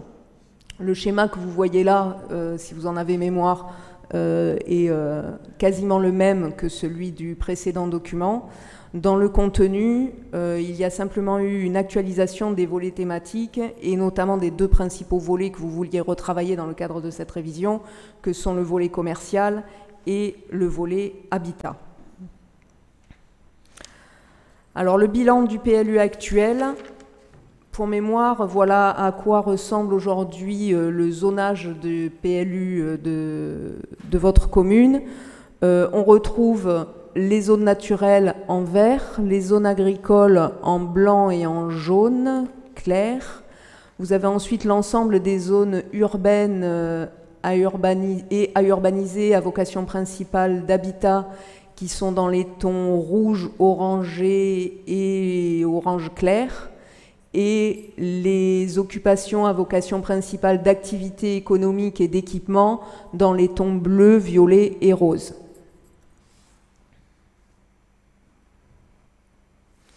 Alors un des objectifs de cette révision a été la prise en compte et la mise en compatibilité avec le SCOT. Euh, dans le cadre du SCOT et de la mise en place du SCOT, il y a eu un document d'évaluation de la compatibilité des différents documents d'urbanisme euh, sur toutes les communes. Et donc sur la commune de Marmande, les principaux points d'amélioration ou de vigilance qui ont été euh, identifiés par rapport au PLU de 2011, c'était la prise en compte d'un corridor écologique dans le secteur ouest, donc vers Beaupuy, dit corridor écologique de Beaupuy. Euh, une demande d'expliciter de compléter la prise en compte de trois points de vue identifiés dans le document d'objectif du SCOT. Euh, la demande de re-questionner la pertinence d'une zone 2AUF à l'est, qui était une zone pour un programme d'extension ou de complément euh, d'équipement de loisirs dans le secteur du Golfe et la demande de définir un potentiel foncier pour les activités économiques compatibles avec les objectifs du SCOT dans un potentiel global, une enveloppe foncière euh, d'environ 26 euh, hectares. Autre point important, et M. Labardin y est revenu, c'était euh, par rapport à cette compatibilité avec le SCOT, la question du volet commercial, avec l'intégration des, prescriptions de localisation préférentielle des commerces au sein des ACOM, cela correspond à la prescription 27 du SCOT. La prescription 28 demandant d'exclure des ACOM les commerces, les unités commerciales inférieures à 300 m2 de surface de vente. Et euh, troisième prescription à prendre en compte dans le cadre de votre PLU, c'est de développer les prescriptions en termes de densité, notamment au sein des ACOM. Donc vous avez euh, en bas de cette diapositive les différents secteurs de ZACOM qui ont été identifiés sur votre territoire. Le troisième point que l'on souhaitait souligner également, c'est le point de la compatibilité avec le volet habitat. Euh, votre PLU de 2011 était parfaitement compatible avec le SCOT. Il s'agissait donc, dans le cadre de cette révision, de conserver cette compatibilité et de vérifier euh, que les traductions qui étaient faites dans le SCOT étaient euh, conformes avec les objectifs du PLU révisé. Le SCOT définissait donc un besoin de 1900 logements pour le pôle Marmande et communes associées, dont 1425 logements minimum pour Marmande, soit 75%, euh, correspondant aux besoins sur les dix prochaines années dans le cadre de l'élaboration du SCOT. Sur ces besoins minimums en logement, le SCOT définissait que 15% de ces logements pour Marmande devaient être produits en densification, c'est-à-dire euh, soit du renouvellement urbain, soit de la résorption de vacances, soit des dents creuses ou divisions foncières. Le SCOT définit également un objectif de consommation foncière maximum, celui-ci, hors densification, d'environ 96 hectares pour la commune de Marmande sur les 10 années, que l'on a traduit euh, pour le PLU à 9,6 hectares par an de manière à permettre un objectif glissant par rapport au décalage de temporalité des deux documents. Alors le projet euh, de zonage révisé. Donc vous voyez sur ce document que globalement, on retrouve les principales, euh, les principales entités euh, que l'on a vues dans le document du PLU de 2011, avec euh, en vert les zones naturelles, alors vert foncé ici et ici, qui correspondent aux zones N1, qui sont les zones de protection principales strictes des milieux, sites et paysages.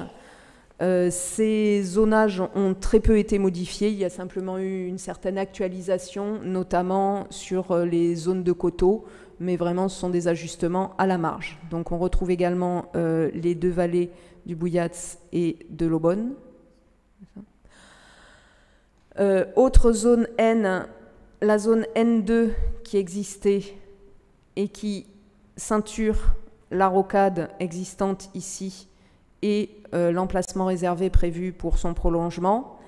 Et également en zone N2, on retrouve euh, la presqu'île de la Filole et le secteur d'abord du canal latéral. Ces zones N2 sont des zones de protection des milieux, sites et paysages, mais qui peuvent intégrer des équipements publics ou d'intérêt collectif à caractère récréatif, de loisirs ou liés aux infrastructures.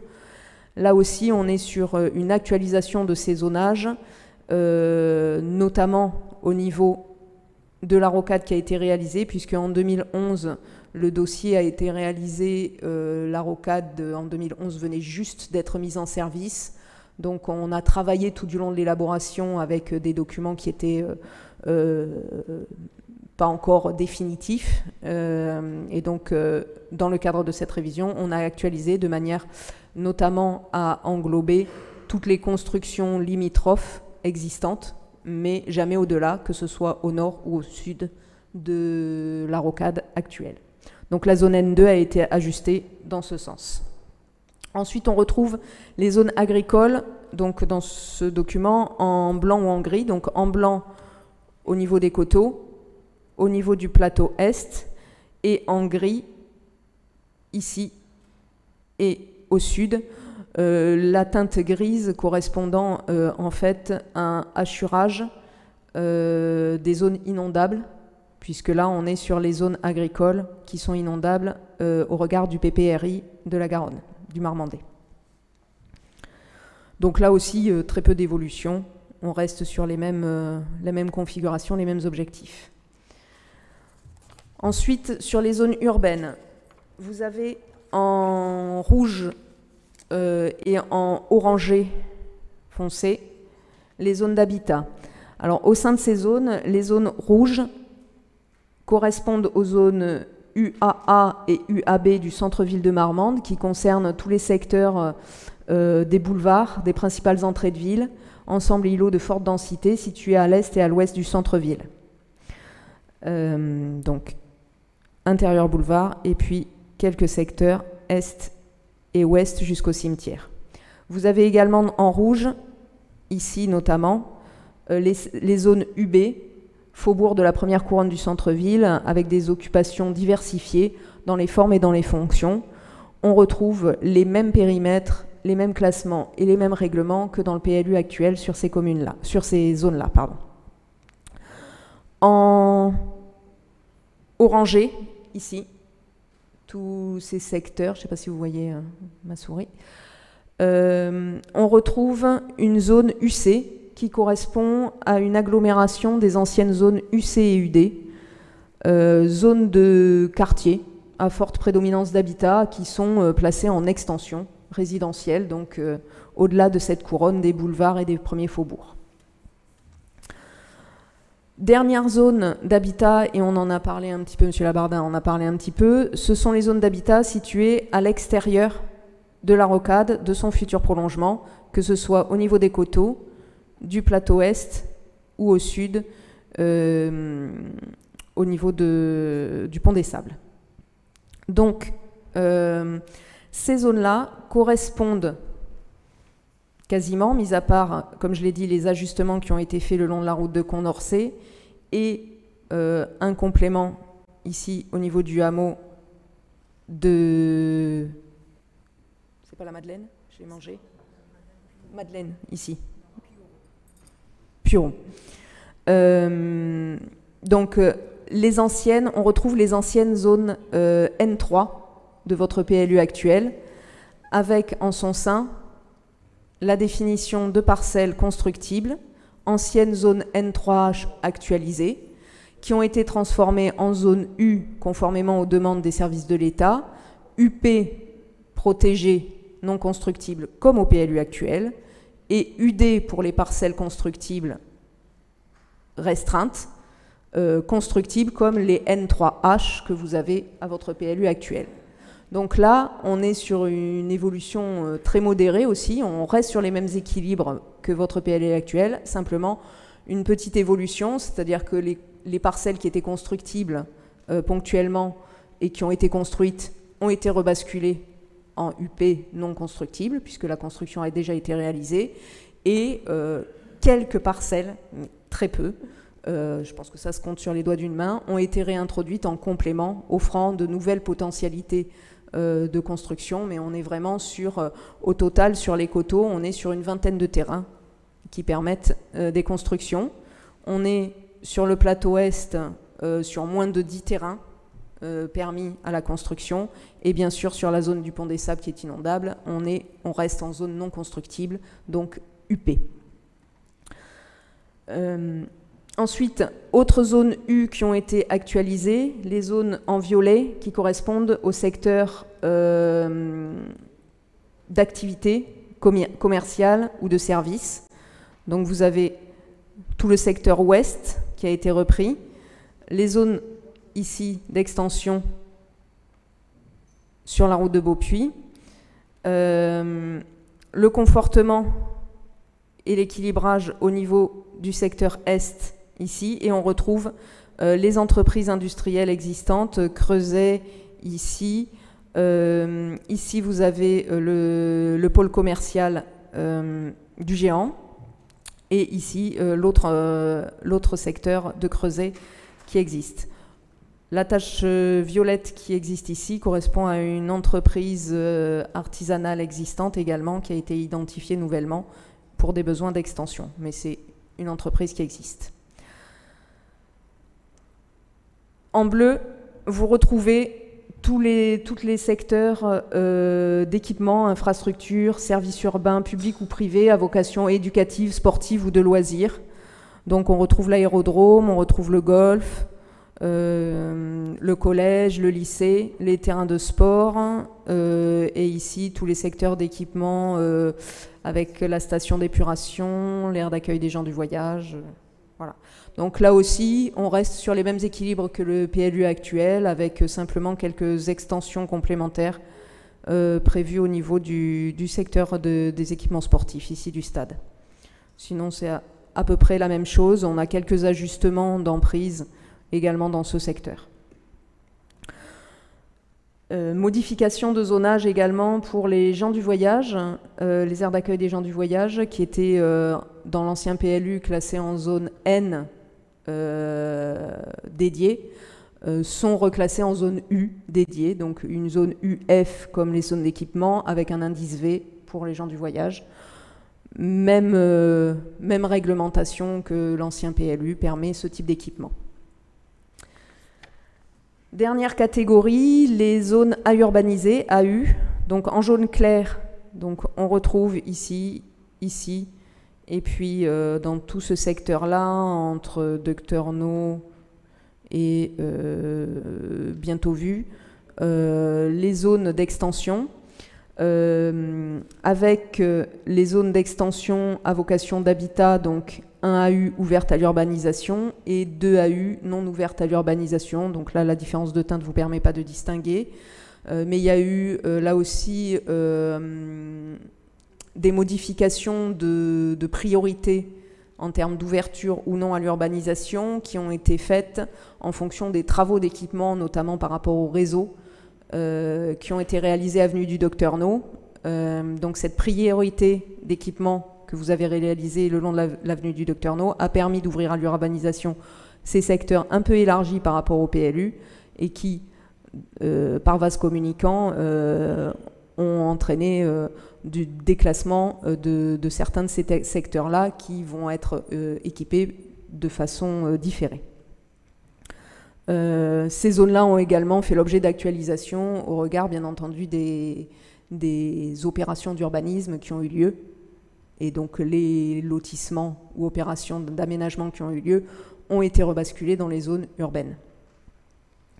Pour l'équipement, euh, pardon, pour l'activité économique, on retrouve les principales zones d'extension, donc euh, ici, et puis euh, des secteurs fermés à l'urbanisation en raison du, du manque d'équipement, du niveau d'équipement, ici en limite de Beaupuis, et puis ici dans le secteur ouest, est, pardon. Sur les zones, donc cette fois d'équipement, on reste sur les mêmes entités, et je vous en ai déjà parlé, les zones d'extension au niveau du stade. Alors, ce document euh, d'urbanisme, si on, zoome un petit peu, reprend bien entendu tous les dispositifs de protection, d'identification et de protection du patrimoine qui existaient avec euh, le listing du patrimoine bâti, le listing du patrimoine végétal ponctuel et linéaire, donc arbre isolé et alignement, et euh, le dispositif relatif aux routes de crête qui existait déjà dans le précédent PLU. On retrouve les espaces boisés classés qui ont fait l'objet d'un ajustement aussi en fonction des évolutions. Une actualisation également des emplacements réservés, essentiellement pour euh, élargissement ou création de voiries. On retrouve le dispositif euh, permettant euh, aux bâtiments situés en zone agricole ou naturelle de pouvoir changer de destination au profit euh, de l'habitat notamment. ce dispositif existait déjà dans le, dans le PLU de 2011. Il y a eu de mémoire trois demandes complémentaires qui ont été prises en compte dans le cadre de la concertation sont également euh, identifiées sur le plan de zonage des zones de contrainte liées au risque d'inondation ou, aux zones humides. Euh, ces contraintes sont reportées par le biais de hachures, euh, se superposant au règlement de la zone et renvoyant au règlement du PPRI pour le PPRI Garonne et à une demande spécifique à réaliser auprès du service risque de, de la DDT pour la zone du Bouillat.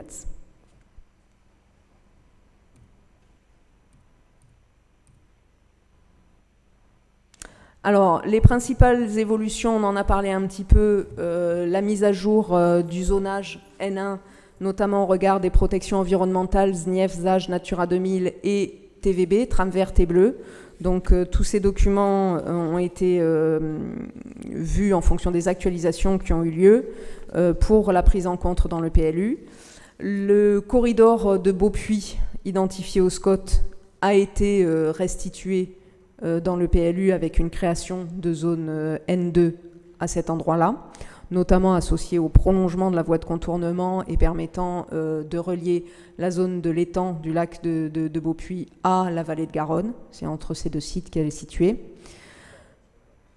Le lac, oui.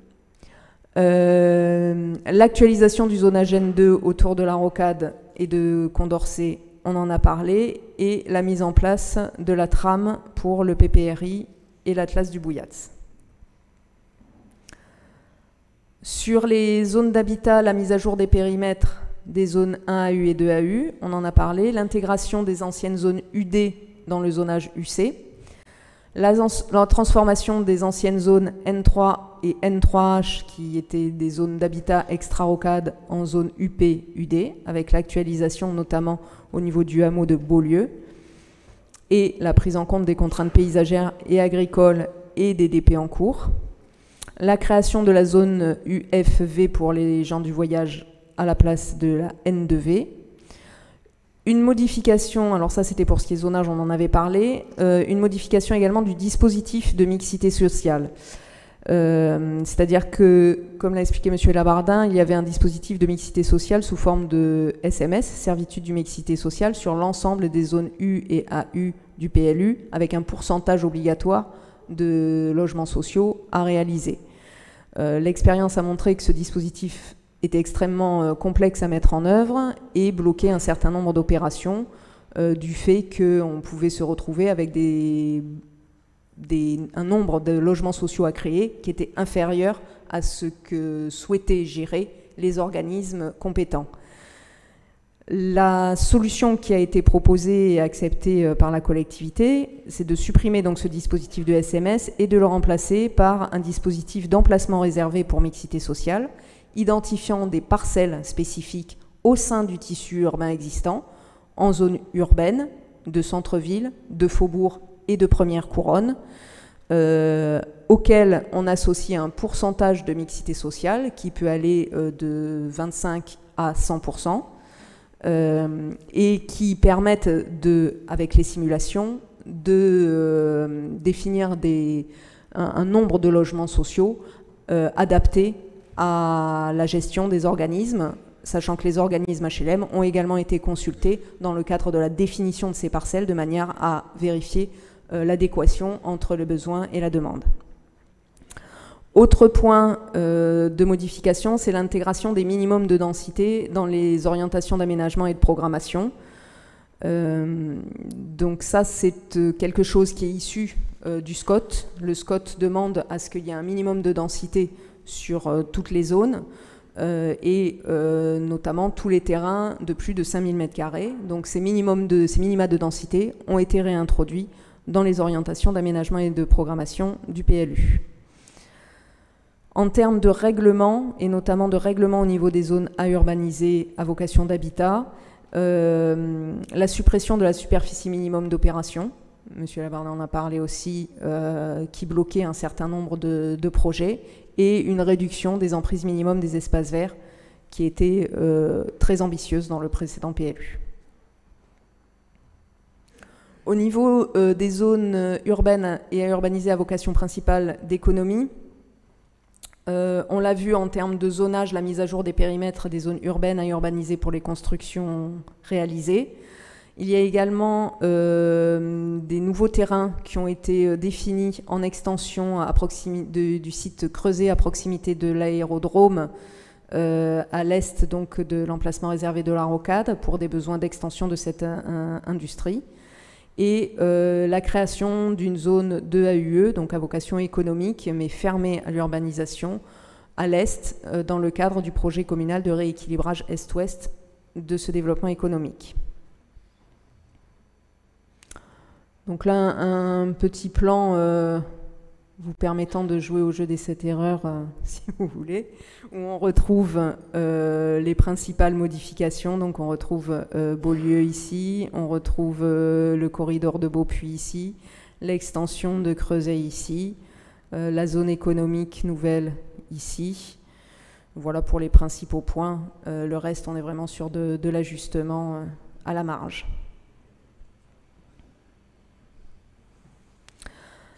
Alors, sur les objectifs, on a évidemment euh, vérifié que pour, concevoir ces zonages, euh, ces objectifs correspondent aux objectifs de croissance et des besoins définis par le SCOT, avec l'objectif de 1420 logements et de 96 hectares. Donc c'est sur ces bases-là que l'on s'est euh, appuyé pour euh, modifier le zonage et les capacités d'urbanisation, avec bien sûr euh, la conformité avec tous les objectifs qu'on a vus précédemment, 15% en densification, le PLU va au-delà puisqu'on est au-delà des 30%, euh, et toutes les autres prescriptions du, du, SCOT sont respectées. Les capacités d'habitat sont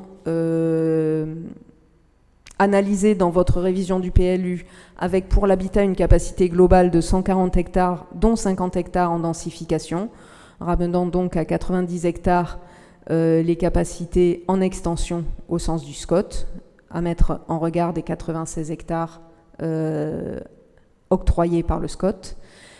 Ces capacités correspondant à un potentiel de logement de 1600 à 2150 logements en fonction des densités minimum et maximum qui seront appliqués. Pour les activités économiques, les capacités globales sont d'environ 70 hectares, dont 25 à vocation tertiaire de commerce et de services, 30 hectares à vocation principale d'artisanat et d'industrie et 15 hectares en réserve non ouverte à l'urbanisation. À cela s'ajoutent les capacités, euh, non, incluant les capacités en extension, pardon. Euh, sur l'équipement, le tourisme et le loisir, Les capacités globales sont d'environ 10 hectares, dont 0,5 hectares pour le tourisme et le loisir. Voilà la localisation de ces capacités, avec en rouge les capacités à vocation d'habitat. Donc on voit effectivement qu'au-delà de la rocade, euh, les capacités sont extrêmement faibles. Hein. On a quelques terrains, même s'ils sont de grands terrains. Euh, les capacités euh, à vocation d'activité économique en violet, à vocation d'équipement en bleu foncé et tourisme et loisirs en bleu clair. Alors, dans le cadre de cette révision, on l'a vu, il y a des modifications au niveau des orientations d'aménagement et de programmation sectorielle. Euh, le PLU actuel bénéficiait déjà d'orientations visant à l'intégration qualitative des entrées de ville et des déplacements. Celles-ci sont reprises dans le cadre de la révision. Les orientations pour l'organisation et l'intégration qualitative des zones U et AU à vocation d'habitat euh, sont reprises et complétée avec les objectifs, euh, reprise avec les objectifs d'intégration paysagère, urbaine et climatique du PLU actuel et complétée avec euh, des prescriptions en termes de densité, notamment pour tous les sites d'extension urbaine de plus de 5000 m2, euh, donc ces objectifs de densification. les densités applicables à toutes les zones urbaines et à urbaniser les minima euh, correspondent en zone à urbaniser à 15 logements à l'hectare. Pour les, zones de, pour les terrains de plus de 5000 m2 situés en zone UA, c'est-à-dire le centre-ville, euh, intra-boulevard, on va dire pour euh, simplifier, 80 logements à l'hectare. UB, première couronne de faubourg, 30 logements à l'hectare. UC et UD, périphérie intra-rocade et extra-rocade, 15 logements à l'hectare. Nous avons proposé dans le dossier de révision de ne pas affecter de densité pour la vingtaine de terrains situés en zone UD des coteaux avec des justifications paysagères. Euh, les autres densités proposées ici correspondent aux prescriptions strictement du SCOT. Dernier point d'organisation de ces OAP sectorielles, les orientations sur les sites situés en zone 1 AU il y a eu euh, simplement une actualisation des anciens schémas sectoriels de manière à s'adapter aux nouvelles limites et configurations de ces zones 1AU et 2AU. Euh, une nouveauté importante, les orientations d'aménagement commercial qui ont été euh, créées complètement dans le cadre de cette, de cette révision. Alors les objectifs de ces OAP commerciales euh, c'est bien sûr euh, soutenir les actions de revitalisation du centre-ville, conforter l'armature euh, de commerce et services en confortant l'offre de proximité et contribuer aux grands objectifs d'aménagement et d'urbanisme. En bas, la petite vignette que vous avez ici correspond aux centralités commerciales définies par le SCOT, avec la centralité principales en jaune et les centralités secondaires en vert. Euh, le document en grand ici correspond aux traductions qui en ont été faites dans le cadre du PLU. Euh, traduction, précision euh, et réglementation qui va au-delà de ce qui est prévu au SCOT, de manière à renforcer encore cette question d'attractivité. Donc on retrouve en centralité principale le centre urbain intra-boulevard et un sous-secteur boulevard et principales entrées de ville. On retrouve un secteur particulier avenue Jean Jaurès.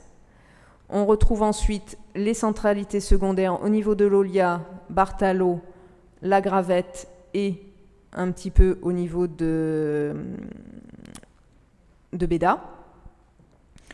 Et dernier point, on retrouve les périmètres de ZACOM définis au SCOT, avec la ZACOM entrée ouest, la ZACOM entrée nord et la ZACOM entrée est, donc avec une définition à la parcelle par rapport à ce qui était défini dans le SCOT.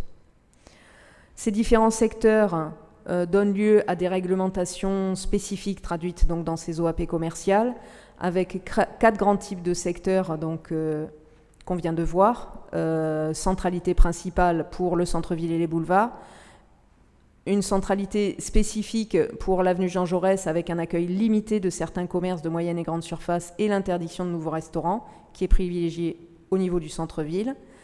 Pour les secteurs euh, de centralité secondaire, c'est l'accueil de commerces de petite et moyenne superficie, 500 à 1000 mètres euh, carrés de surface de vente, permettant de répondre aux besoins euh, de proximité de vie de quartier. Et puis la traduction du SCOT au niveau des ACOM, où l'accueil de commerce euh, de moyenne et grande surface doit être supérieur à 300 mètres carrés pour éviter les concurrences par rapport aux centralités urbaines. Donc tout cela est repris dans différents tableaux, différents tableaux également euh, qui développent les fréquences d'habitat avec des, des fréquences d'achat, oui, pardon, avec euh, des détails en fonction vraiment des différents types de, de commerces de façon euh, extrêmement détaillée. On voit boulangerie, presse, supermarché, alimentaire spécialisé, habillement, jouet, bricolage, etc. Donc tout ça est extrêmement détaillé dans le cadre de ces traductions d'OAP commerciales, de manière à vous permettre de maîtriser au maximum ce développement commercial pour toujours favoriser le dynamisme du centre-ville.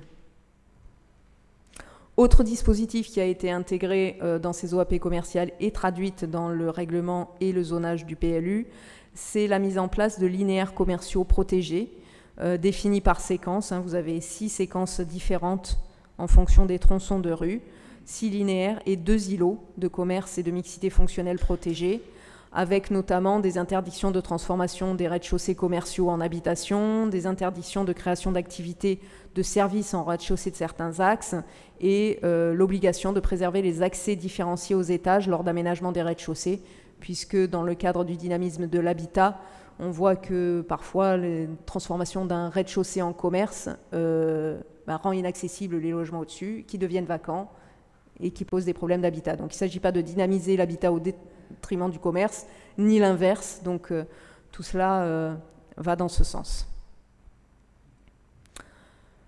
Voilà pour les principaux éléments, j'en ai terminé. Merci pour cette présentation exhaustive. Quels sont les zonages PLU de la ville de Marmande? Vous avez 30 minutes, je ramasse les copies. C'est un peu ça. Merci. Y a-t-il des, des observations ou des questions?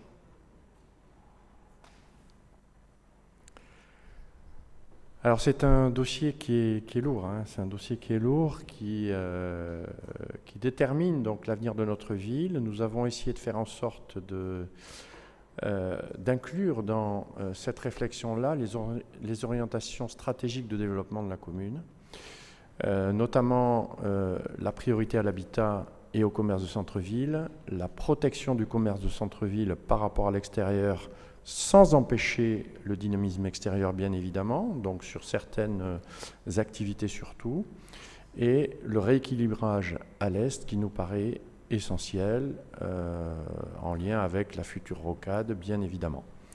Voilà, donc euh, oui, Monsieur Cerruti. Je, vais vous présenter les combien 30 minutes J'ai j'ai participé donc à la commission Urba, j'ai participé à une réunion, publique et je participe aujourd'hui au conseil municipal. Donc, euh, moi, mes réflexions sont les suivantes. Euh, la première, euh, bon, sur, sur, la philosophie que vous venez de développer, là, j'entends bien sur l'idée du développement du commerce, centre-ville le dynamisme. Entre parenthèses, euh, non pas entre parenthèses, euh, j'ai une question euh, que je ne maîtrise pas très bien, mais sur la réduction de, l'espace vert sur les constructions. Ça me semble une, question. je sais que c'est compliqué. La, réduction de la superficie de l'espace vert pour la construction, si j'ai bien entendu.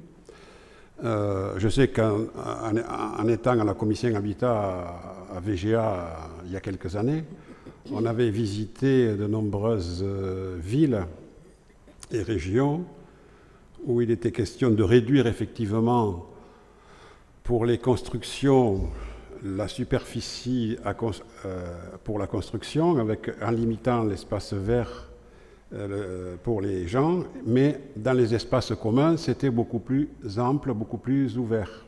Voilà. Mais ça, c'est une réflexion générale. Ensuite, là où, là où je ne suis pas du tout convaincu, c'est sur, euh, comme a dit M. Labardin, la, la, question de la mixité sociale. J'ai bien entendu qu'il y a des zones sanctuarisées pour les logements sociaux. Euh, moi, je considère que euh, c'est un choix politique. Personnellement, je pense qu'on pourrait euh, répondre à ce que nous avions engagé, qui n'a pas été réalisé, parce qu'il n'y a pas eu sans doute la volonté politique non plus hier, pour aller jusqu'au bout, à savoir les 20 ou 25% je crois que c'est 25% de logements sociaux sur toute nouvelle construction. sociaux, quand on dit logements sociaux, c'est logement très social ou logement, euh, ça va du simple au double en, termes de revenus. Je pense que c'est un... Après, j'entends la philosophie qui est développée. Euh, on dit qu'il y a des promoteurs qui, euh, qui ont du mal à, se positionner quand on exige 20% de logements sociaux. Je suis désolé, c'est un choix. Si c'est un choix politique, par exemple, la, collectivité ou, locale ou territoriale pour acheter la part dévolue aux logements sociaux sur euh, le projet global, par exemple. Mais ça, c'est un choix politique. Voilà. Donc, je donne mon opinion, parce que j'ai bien entendu vos arguments, monsieur le maire, en plusieurs commissions, y compris à VGA. Euh, et ne me dites pas que j'ai rien compris. Hein. Euh, c'est mon opinion. Et je, pense qu'elle est, pour moi, elle est juste, pour elle répond aux préoccupations des gens. Après, euh, j'entends les arguments. Hein, euh, moi, ce n'est pas gênant de développer de la mixité sociale partout. Après, c'est un choix. Hein. ça, peut coûter cher, mais c'est un choix. Ça, c'est comme j'ai dit tout à l'heure, le climat, c'est un choix. On peut ne pas être d'accord. Ensuite, sur les coteaux, on ne met pas de, périmètre, si j'ai bien compris. Hein, euh, si j'ai bien compris, il n'y a pas de distance. Je, j'ai pas bien compris sur le coteau ce que vous avez dit. Non, on n'a pas mis de, seuil minimal en nombre de constructions par lot. Voilà. C'est-à-dire qu'aujourd'hui, s'il y a un grand terrain disponible sur les coteaux, on a le choix. Soit on met un nombre minimal de constructions, à 15 ou 20 constructions à l'hectare, ce qui fait qu'on va voir fleurir des petites maisons sur les coteaux, ça va les dénaturer. Soit on ne met pas de seuil, et c'est le choix que nous avons fait, c'est pas pour avoir euh, une préférence pour certaines personnes pour accéder au coteau, c'est que ça permet de garder de grandes superficies avec une seule construction et donc de ne pas dénaturer le paysage. Ça va pas plus loin que ça. Parce que vous avez des, des terrains qui sont hérités de familles et ça permet à la famille de rester sur son terrain avec une seule maison et donc de conserver le, la, beauté des coteaux que nous avons, alors que si nous, nous obligeons 15 euh, ou 20 logements à l'hectare, vous allez voir fleurir des petites maisons sur les coteaux, ça va être euh, affreux, ça va être très moche. C'est ça le problème. Il n'y a aucun cadre en définitive sur les coteaux, c'est ça? Il n'y aura pas de minimum. C'est-à-dire que vous pouvez avoir une seule maison sur euh, la parcelle qui existe. Voilà. De manière à conserver cette beauté de nos coteaux. Si vous voulez avoir des pavillons sur les coteaux, libre à vous. Mais nous, ce n'est pas notre choix. mais comment on, on comment, ça. comment on le, on le détermine sur le comment on le détermine sur le PLU ça? Comment? Parce que c'est bah, en fait c'est la réglementation qui existe déjà aujourd'hui, donc euh, voilà, elle est simplement poursuivie. Alors nous, la, préfecture nous demandait d'introduire un minimum. Nous, nous, ne le souhaitons pas parce que ça va dénaturer à terme nos coteaux. Alors je vais vous répondre sur les deux premiers points. Concernant la réduction des espaces verts par rapport au, total de, chaque projet, euh, on peut avoir toutes les, euh, toutes les bonnes volontés du monde, euh, et ça vaut aussi pour le deuxième point, on se heurte à la réalité des choses. Et la réalité des choses, c'est que quand vous avez un projet de 1 ou 2 hectares, si vous faites 20 ou 30% d'espace vert, eh ben, ça augmente le prix de chaque projet de 20 à 30%, clairement.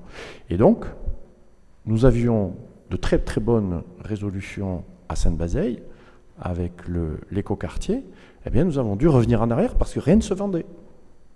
Rien ne se vendait. Aujourd'hui, c'est parti parce que nous avons revu le règlement intérieur.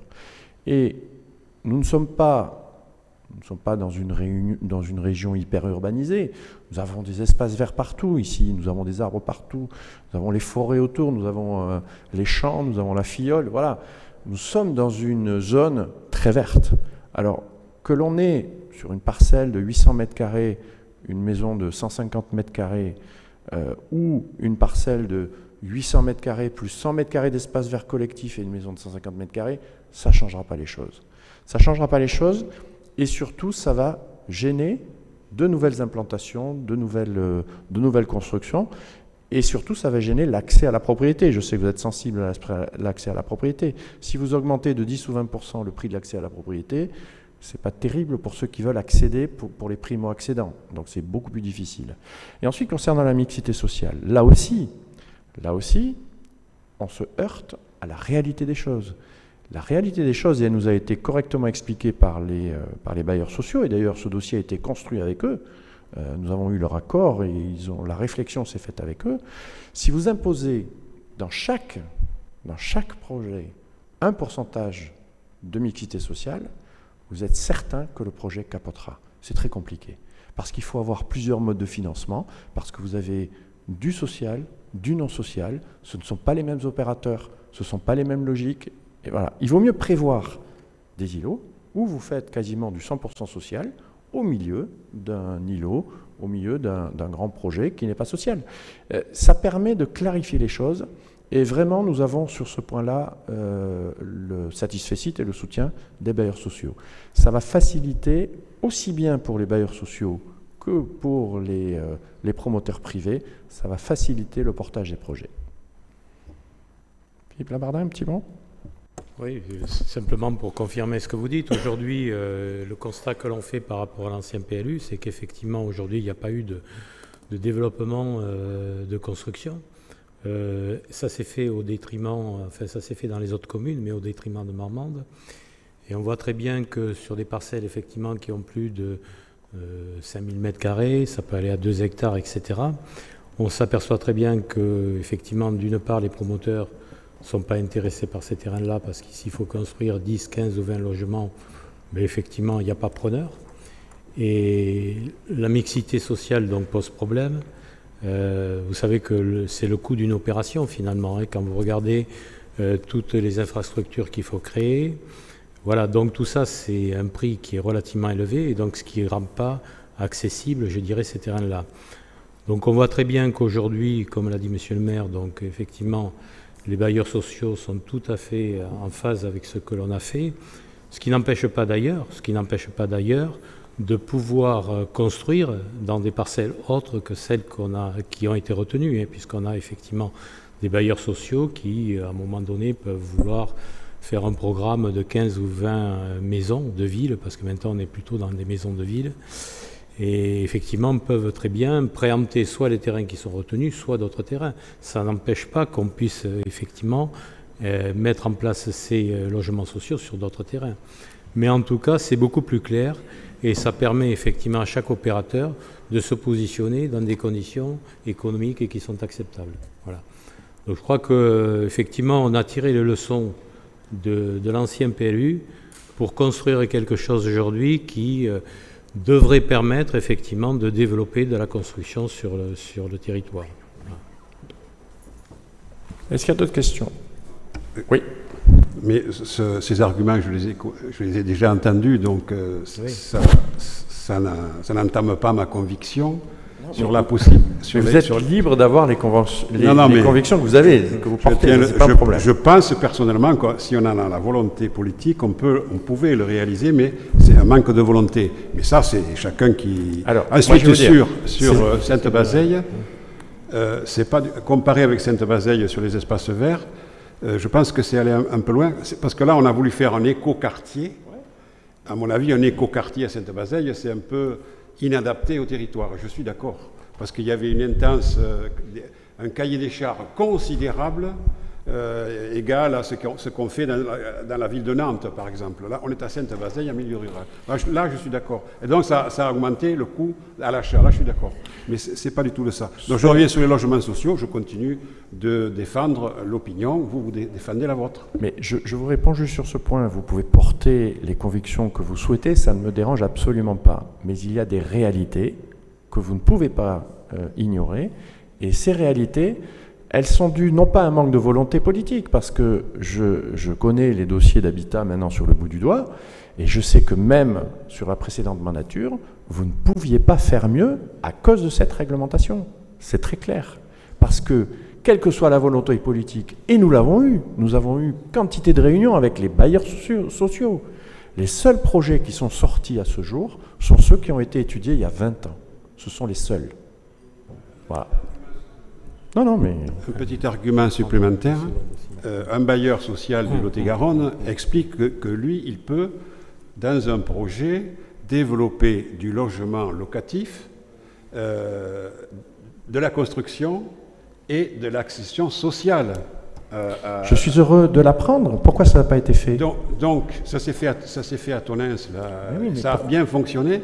Ça veut dire que tout ça, mais si j'ai bien compris comment fonctionnent les bailleurs sociaux, ils ne veulent pas comment travailler avec des, bailleurs, des, promoteurs privés pour construire un projet. Par contre, ils sont capables de faire un projet mixte, si, vous voulez. Voilà. Alors pourquoi ça n'a pas été fait à Marmande Eh bien non, mais non, il y a des réalités, Monsieur Cerruti. Il y a des réalités. Philippe Lavardin. Simplement en complément par rapport aux espaces verts, qu'on n'aille pas dire qu'on supprime les espaces verts. Aujourd'hui, c'est clair que vous aviez des terrains qui n'étaient pas du tout constructibles parce qu'il y avait des, des, distances minimum de 30 voire plus euh, mètres qui effectivement devaient être destinés aux espaces verts. Donc il y avait un certain nombre de terrains et on a des exemples pratiques sur lesquels on ne pouvait pas les construire. Donc euh, aujourd'hui simplement on dit euh, que les espaces verts, le pourcentage d'espaces verts s'il était de 10, 20 ou 30 était beaucoup trop ambitieux pour justement euh, pouvoir créer euh, ou mettre en place une opération d'aménagement. Donc c'est tout. Donc on dit simplement, on vient sur des choses beaucoup plus raisonnables, tout en conservant bien sûr des espaces verts, parce qu'on a bien conscience qu'il en faut, mais essayons d'être raisonnables pour que l'opération puisse se concrétiser. Si elle ne se concrétise pas, on revient au point mort et en fait, on n'a plus de, constructibilité sur, nos terrains. Quoi. Donc je crois qu'il y a une réalité à un moment donné auquel on est confronté, sur laquelle il faut prendre acte et puis dire, bon voilà, de quelle façon peut-on faire en sorte qu'on rende ces terrains accessibles à la construction? Voilà. C'est tout notre raisonnement que l'on a suivi au cours de, au cours de ces travaux. D'autres questions? Monsieur Kelly. Oui, sur l'ensemble, euh, merci d'abord pour cette euh, présentation euh, très détaillée. J'ai passé en 30 minutes, je pourrais redonner les zonages, je l'ai vu deux fois, puisque en commission, M. Labardin et, Mme Carté-Michaud l'avaient présenté. donc les grandes lignes, la, philosophie est maintenue, j'y souscris, la densification intra-rocade ou juste en périphérie, enfin bref, tout ce qui a été expliqué, je ne reviens pas, ça a été très bien dit.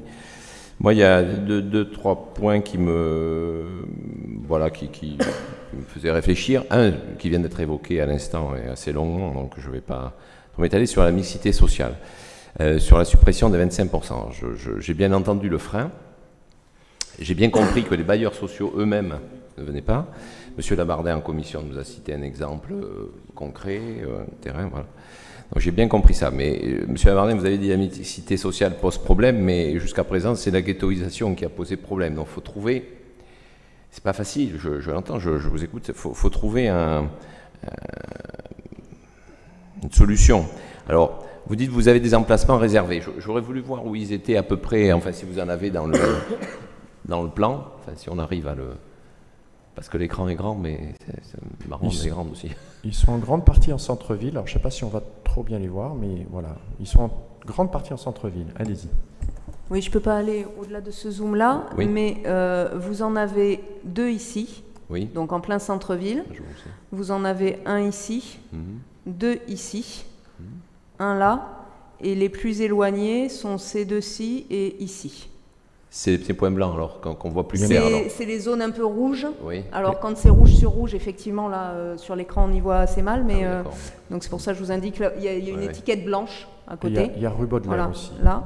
Alors oui, je les ai peut-être pas tous, euh, mais les principaux sont, sont situés vraiment au sein du tissu urbain. hein, donc euh, oui, Oui, vous oui, en avez bien, un oui. ici aussi. Donc au sein du tissu urbain, alors il y a des tout petits îlots hein, qui, euh, quand on est sur des tout petits îlots comme ça, on est probablement sur des 100% de de, de mixité sociale, donc euh, le- la construction entière est, est dévolue à, à ça.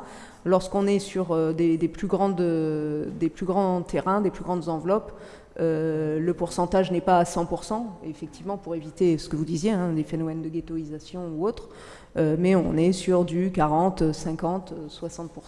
Je n'ai plus en, en tête exactement, mais euh, voilà. D'accord, je vous remercie.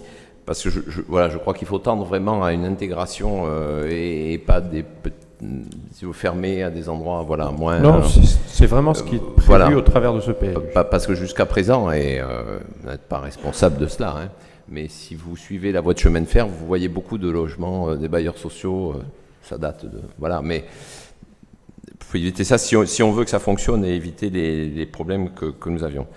Euh, vous, avez parlé juste sur les coteaux, enfin je ne voulais pas en parler, mais vous, disiez que l'arrivée de pavillons sur les coteaux allait défigurer, oui peut-être, ça c'est un jugement euh, un, peu de valeur. Après vous avez une poss- mais je vois ce que vous voulez dire, je, pense que vous avez une possibilité, ou peut-être pas, hein, je me trompe euh, peut-être juridiquement, sur ces petits terrains, parce qu'il n'y en a pas beaucoup hein, finalement, sur les coteaux qui sont ouverts, là, les UD, UD, UP, je ne sais plus UD.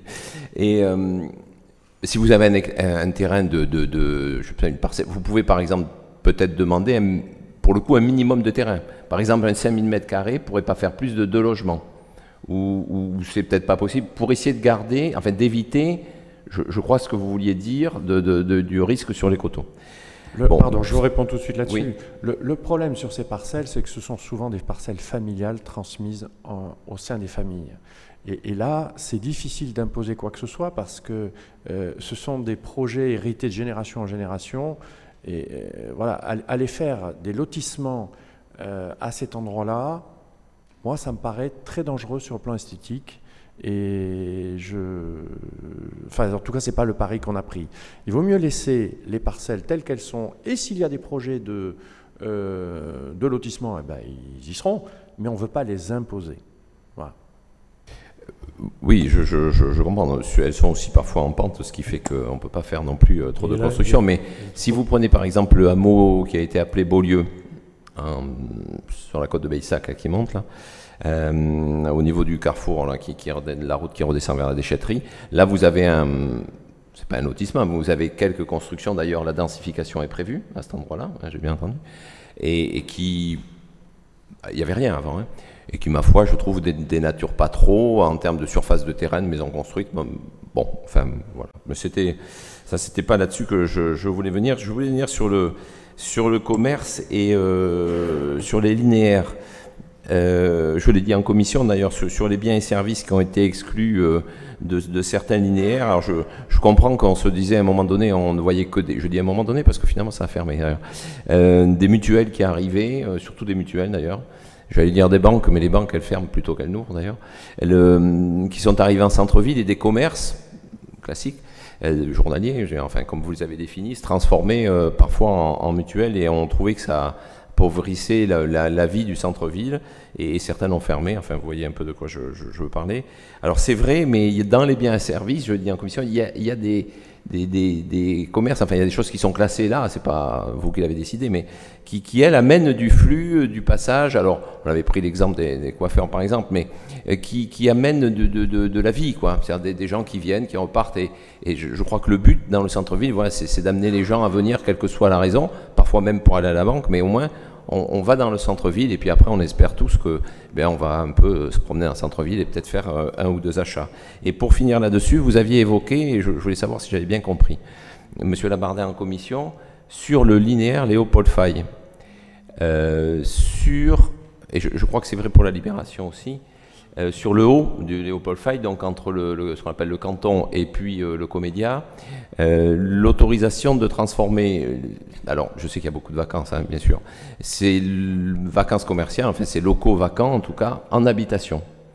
je crois que c'est le cas aussi dans la rue de la Libération. Quand je dis rue de la Libération, je veux surtout parler de la Poste au canton avant. Bon. Alors, si tel est le cas, moi je, je trouve cela dommage. Alors, je, comprends, à, l'heure actuelle, on, voit bien le, désastre de ce bout de rue. Mais je, trouve dommage parce que, un, d'abord, vous avez manifesté un volontarisme avec les locations à 2 euros, enfin, essayer de remettre, y compris la boutique les marmandises, pour, essayer de réinvestir ce, ce secteur-là.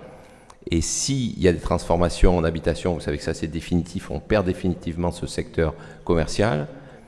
Et en plus, alors peut-être que ça n'arrivera jamais, je, sais bien, mais là, dans l'immédiat, ça me paraît trop tôt pour trancher comme ça brutalement. On peut imaginer, enfin, il se faisait un, itinéraire que je qualifierais commercial qui partait de la place de la mairie, voire plus haut, la rue Charles de Gaulle, mais place Clémenceau, donc, vous descendez la rue piétonne, vous arrivez à la place du marché, que vous avez refaite, et vous remontez la rue de la République, qui n'est plus très, très commerçante, je le reconnais, euh, et hop, vous pouvez reprendre la rue Léopold Faye.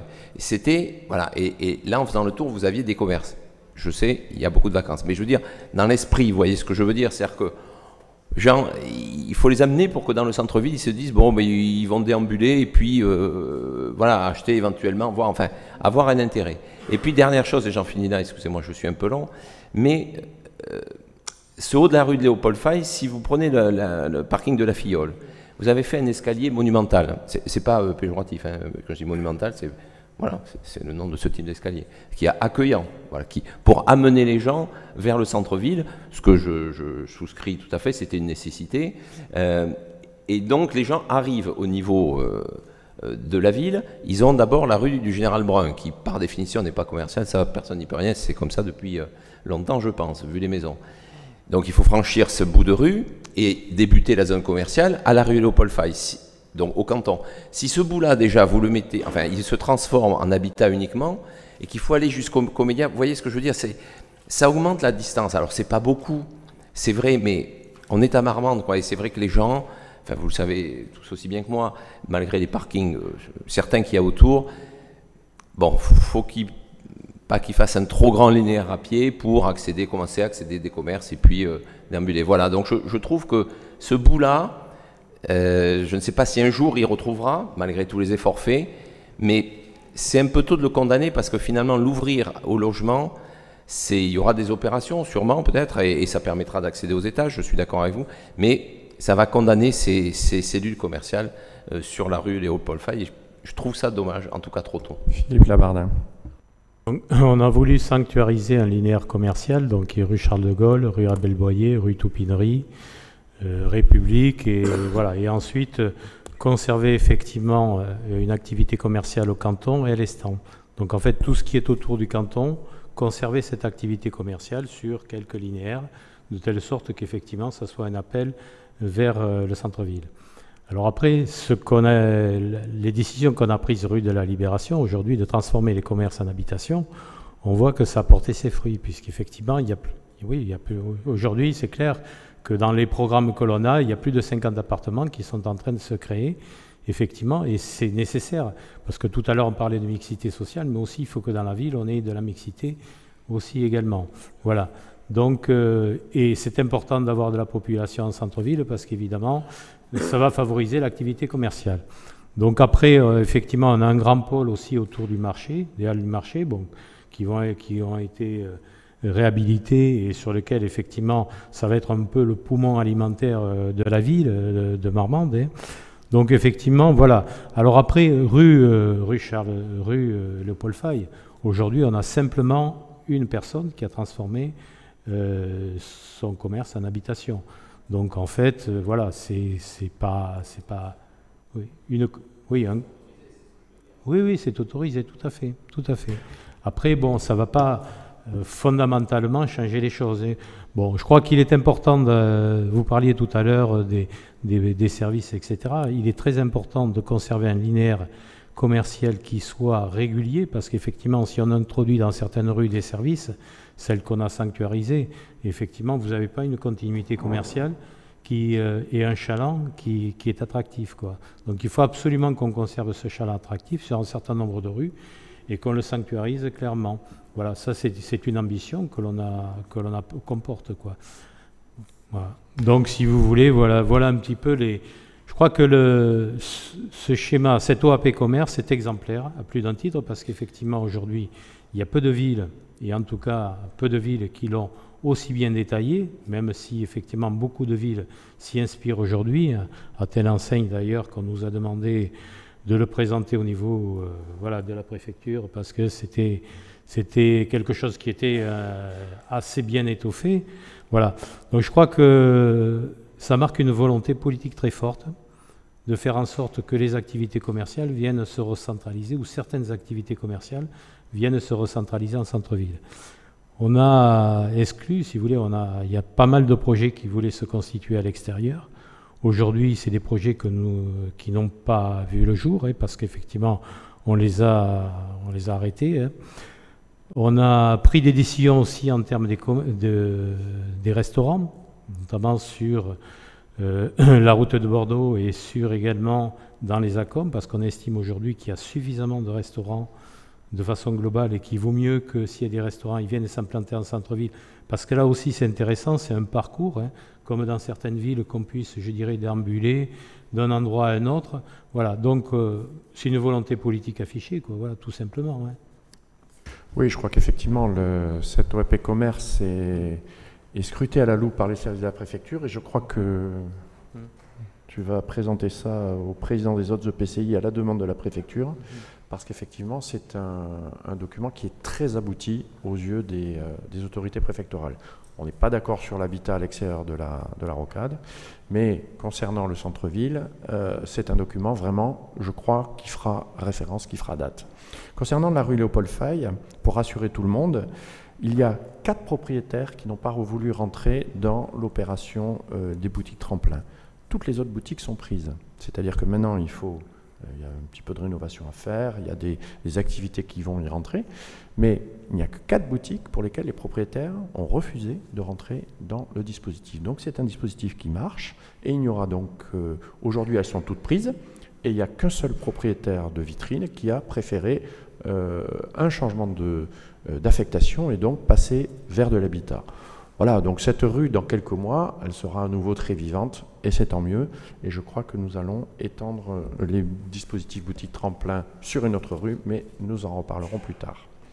Y a-t-il d'autres questions sur, euh, ce PLU, qui est un document vraiment très, très difficile? Je vous l'accorde.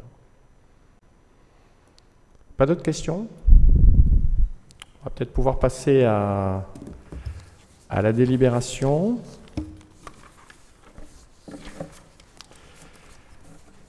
Donc pour la délibération, nous confirmons que la concertation relative au projet de PLU s'est déroulée conformément aux modalités fixées par la délibération du 2 novembre 2015.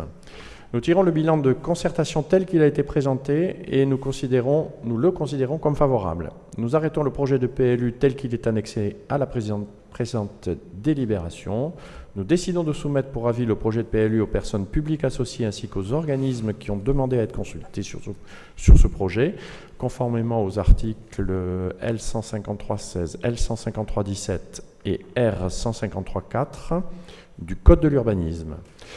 Nous disons que la présente délibération sera affichée pendant un mois en mairie conformément à l'article R153.3 du Code de l'urbanisme et nous disons que le dossier définitif du PLU tel qu'arrêté par le conseil municipal est tenu à la disposition du public à l'accueil du service urbanisme. Qui est contre? Qui s'abstient? Non, il y en a qui ne doivent pas participer au vote, pardon. Alors, je vais recommencer. Qui ne participe pas au vote? Levez la main. Qui ne participe pas au vote? Une, deux, trois personnes. Donc, qui est contre? Qui s'abstient? Trois abstentions, plus les éventuelles euh, procurations. Je vous remercie.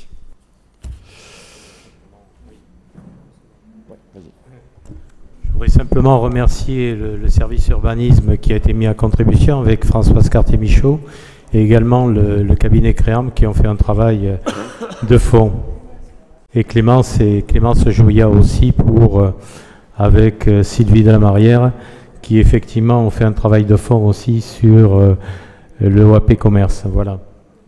Oui, c'était effectivement un dossier collectif, lourd à porter, mais sur lequel tout le monde a été présent, donc bravo à tout le monde. Dossier numéro 4, projet de plage à Coussan. Monsieur Morin Non? C'est pas vous qui présentez? Non, Pardon, c'est moi. C'est moi qui présente, pardon. C'est vous, c'est là, ça sera le projet global. Alors, pourquoi le projet de, plage à Coussan? Vous savez que nous avions une plage historique, euh, rive droite de la Garonne, depuis, euh, depuis des années. Et euh, cette plage qui s'appelle, je crois, la plage Varaillon, et qui a permis à beaucoup de Marmandais d'apprendre à nager, eh bien cette plage ne répond plus, aux standards des sites aqualudiques si l'on veut vraiment s'inscrire dans une vraie logique de développement touristique. Nous avons regardé tous les sites sur la rive droite, près de la Fiole, et aucun ne présentait les caractéristiques acceptables pour un vrai site aqualudique. Le seul site qui aujourd'hui permette un développement touristique, c'est celui de l'ancienne gravière de Coussan, puisque nous avons là euh, des grandes étendues de galets euh, avec euh, une Garonne un peu large, donc avec moins de courant, et surtout un site qui est d'une beauté extraordinaire, qui est très sauvage. Et vous pouvez en, apercevoir euh, euh, pas mal de caractéristiques depuis l'autre côté de la Garonne lorsque vous vous, promenez euh, le long du chemin, l'ancien chemin de halage, le chemin communal qui joint la Fiole à Saint-Pardoux. Et donc là, vous avez une belle vision sur, ce qu'est le site de, Coussan. Euh, sachant que euh, cet aspect sauvage est très demandé par l'ensemble euh, des, touristes. Voilà un peu la vision, la vue, donc une vue aérienne de la liaison, enfin de, l'intégration de la plage de Coussan sur l'ensemble du site de notre commune, et notamment par rapport à la Fiole. vous avez contre la Garonne, donc ici voilà le site lui-même de la plage, où il y aura une petite guinguette, euh, où vous aurez euh, un parking euh, sécurisé et un petit, un petit accès donc sur la plage directement. Donc vous voyez que la plage est très très large. Alors ce sont des galets, ce, n'est pas de, pas du sable, mais voilà, c'est ce qui va faire son charme aussi. et sur le, le terre-plein qui est près de la guinguette, nous allons pouvoir installer des jeux, des jeux de plage, de manière à ce que les touristes puissent, et les Marmandais bien évidemment, puissent passer du bon temps sur ce site. Euh, voilà une, euh, photographie de, de, ce site, de cette plage, hein, donc une, plage assez, euh, merveilleuse. Et on a peut-être une autre image, non? C'est tout, c'est fini. Alors on va, voilà, une autre, image. Et lorsqu'il fait soleil, à cet endroit, 100 mètres plus loin, la Garonne est verte, mais à cet endroit, la Garonne est bleue je vous le garantis, et vous pourrez le vérifier par vous-même. Par, euh, donc a... À terme, il y a donc euh, une, intégration des mobilités douces. Donc, nous réfléchissons à une passerelle piétonne pour les années à venir, euh, de manière à rejoindre à partir de la Fiole le site, donc, le site de, Coussan. des navettes fluviales qui peuvent intervenir entre, Couture, la Cale, euh, la, plage de Coussan et euh, l'est de notre territoire, donc jusqu'à la Gruère et Tonins, euh, avec, en intégration avec l'association AMI sur l'est du territoire. Il y aura effectivement des jeux, des jeux. C'est un vrai petit centre aqualudique avec des petites barges, du paddle, des canoës, des zodiacs, etc. Euh, et un vrai site naturel d'intégration entre le développement durable, l'aspect naturel donc des berges de Garonne et les activités touristiques. Voilà. Dans les médias, donc les procédures d'autorisation sont en cours, mais vous allez nous en dire un, petit peu plus, je pense, euh, tout de suite. Allez-y. Voilà. Oh, pardon. Euh, oui, donc il y a un certain nombre d'autorisations qui ont été demandées. Je rappelle qu'on est dans le dans la suite du processus qui a été déjà entamé l'année dernière dans le cadre du dépôt du dossier FEDER par rapport à l'aménagement de, de, ce lieu et par rapport à son inclusion dans un, une espèce de, continuum touristique, effectivement, qui irait d'Amazon d'un côté à euh, l'aréole de l'autre et, bien après, puisque l'intérêt premier de ce, de ce lieu, c'est de faire partie d'un eh d'un cheminement, d'une itinérance qui peut exister et qu'on doit développer euh, dans les temps à venir. Donc, euh, en attendant de développer l'itinérance, euh, on a un certain nombre de processus à respecter, de procédures, donc choses qui ont déjà été faites, des dossiers qui ont déjà été déposés, euh, un dossier, une demande d'autorisation de travaux qui a été déposée à la DDT, Direction des Territoires, puisque ce site est d'une part soumis à la loi sur l'eau et d'autre part soumis au périmètre Natura 2000. Euh, une demande d'autorisation à VNF, Voie Navigable de France, qui est propriétaire d'une partie du terrain, même si nous l'achetons, euh, euh, la partie qui borde le, le, fleuve appartient à l'État et restera à l'État. Donc on, demande une autorisation d'occupation. C'est d'ailleurs une des euh, des libérations que l'on vous demandera de prendre ce soir, c'est-à-dire de valider la convention type que nous signerons avec VNF. Et puis, il y a enfin la demande d'autorisation faite au SMEAC, c'est-à-dire le syndicat mixte d'études et d'aménagement de la Garonne, qui regroupe les quatre départements et les deux régions qui euh, bordent ce fleuve. Voilà. Euh, autre chose encore, dans les, euh, dans les autorisations et dans les procédures, on a parlé d'une guinguette. Donc il faut savoir que depuis le 20, oui c'est ça, depuis le 20 avril dernier, est euh, visible sur le site de la mairie un appel à candidature euh, pour trouver une ou des personnes qui animeront euh, cette guinguette, aussi bien en termes culinaires qu'en termes d'animation euh, diurne et nocturne. Voilà. On a déjà euh, des, premiers résultats sur les demandes d'autorisation, puisque pas plus tard que ce matin, on a eu l'avis favorable de VNF, Voie Navigable de France. on attend pour avoir l'avis du SMEAG et de la DDT une réunion, une, espèce de chose bizarre qui s'appelle le Conseil des biotopes, qui doit permettre de déterminer si dans les travaux qu'on envisage de faire, on risque pas d'abîmer euh, l'environnement en, sachant que bah, là comme ailleurs, on a des écrevisses, des écrevisses, pardon, on a quelques loutres et euh, quelques crottes de chevreuil, donc il faudra bien évidemment respecter ce, euh, ce public animal. Voilà. Merci pour ces précisions, sachant qu'il y aura très très peu de travaux, donc je pense que nous oui, pas au, au, niveau des travaux, c'est extrêmement limité puisque hop, hop, hop, hop, voilà les travaux. Euh, on avait même initialement, ah ben oui c'est là, pardon. on avait initialement prévu de faire une, voie de secours renforcée euh, et après intervention des pompiers, il apparaît qu'on n'a pas besoin de cette voie de secours puisque les services euh, pourront passer directement par là. Là, on fera un escalier. Il est prévu de faire un escalier de la façon la plus naturelle possible, c'est-à-dire les quelques arbres qui seront abattus, on va essayer de les tailler à la mesure euh, de l'escalier dont on aura besoin.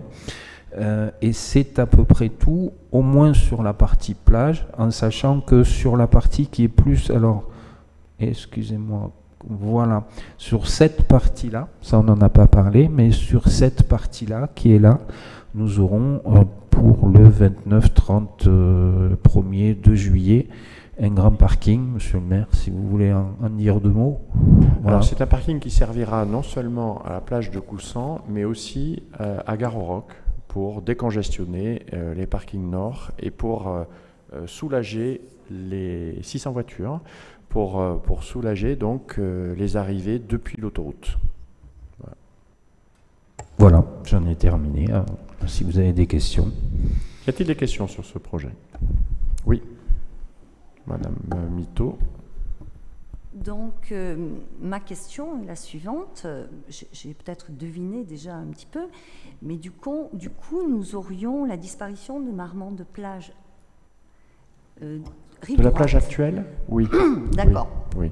Alors moi, je suis un peu attristée parce que hum, c'était une plage, ou en tout cas c'est une plage à, laquelle on accède à pied très directement depuis le centre-ville. Et il est vrai que dans les grandes villes euh, sont, euh, sont créés ce genre de plages où nous n'avons pas besoin de prendre la voiture. Alors, en effet, hein, euh, j'ai bien entendu que on y accéderait par la voiture, on y accéderait par zone fluviale, c'est un petit peu pareil. Je pense que le transport par zone fluviale sera payant. Ou pas. Bon. Euh, mais enfin, bon, en général, les transports sont, sont euh, pas gratuits. Hein. Et donc, c'est ça, en fait, qui me, chagrine un petit peu. Et puis, ce marmant de plage, directement en accès du centre-ville, donner de la plus-value au centre-ville. Voilà. Ça, je, tenais à le signaler. Je tenais à signaler aussi que par rapport aux inondations, euh, la plage de Coussan, qui se situe dans le Méandre, moi je suis allée voir un petit peu sur le site de Val-de-Garonne euh, le film d'animation sur la montée des eaux, et euh, qui est présent hein, sur le site que vous connaissez, où je m'aperçois que la, coloration arrive sur Coussan en premier. Et donc je me disais qu'il aurait peut-être été intéressant de développer davantage celui de la plage vraiment de Marmande en accès direct, de mettre des aménagements, puisqu'elle se situe, la plage actuelle se situe en zone 2, d'après ce que j'ai compris tout à l'heure. Elle peut accueillir des infrastructures et peut-être d'y mettre en hauteur, d'y implanter en hauteur au lieu d'implanter sur la plage, d'implanter en hauteur ce genre d'infrastructure. Ce qui, en fait permettrait lors d'inondations euh, fréquentes de ne pas être inondé, alors que peut-être qu'à Coussan, en, inondation fréquente, ça serait inondé. Bon, enfin voilà. Et donc, euh, donc pour moi, il serait dommageable de se défaire de notre marmande de plage à pied qui correspond à la cohérence du projet de ville aussi, c'est-à-dire le piéton et roi. Et nous savons bien que plus on est près d'une plage, et mieux c'est. Alors je vais vous répondre sur les trois points. D'abord concernant le, site. Le site de Marmande Plage actuel est très loin du parking. C'est entre 500 et 700 mètres. Ce qui veut dire qu'aujourd'hui, beaucoup de Marmandais n'y vont pas. Et lorsqu'ils sont un peu plus loin que le centre-ville, bah, ils vont se garer en voiture, donc ils y vont en voiture, et ensuite à pied. Et nous avons reçu beaucoup, beaucoup de remarques sur la distance à la plage, et nous avons même réfléchi à essayer de la rapprocher du confluent, de manière à ce que les gens, notamment les personnes âgées ou à mobilité réduite, puissent y accéder elles aussi. Et ça n'a pas été possible parce que c'est le seul secteur, rive droite, euh, où il y a un peu moins de courant. Et dès qu'on se rapproche du confluent, la Garonne est un peu plus étroite et donc il y a un peu plus de courant. On le voit d'ailleurs sur la photographie. Et, donc ce site-là, même si c'est un, site historique, avait finalement plus d'inconvénients que d'avantages. Et lorsqu'il y a eu une, guinguette, elle n'a pas marché. Elle n'a pas marché parce que euh, c'est très difficile d'y accéder. Et pour aller manger le soir, faire 700 mètres à pied, 700 mètres pour revenir, quand on n'a pas trop la forme physique, eh ben, il y a beaucoup de gens qui n'y allaient pas. Donc, euh, il nous a semblé logique d'essayer d'imaginer un autre site. Euh, concernant ensuite les inondations, non, les inondations, euh, quand ça sort, ça sort partout.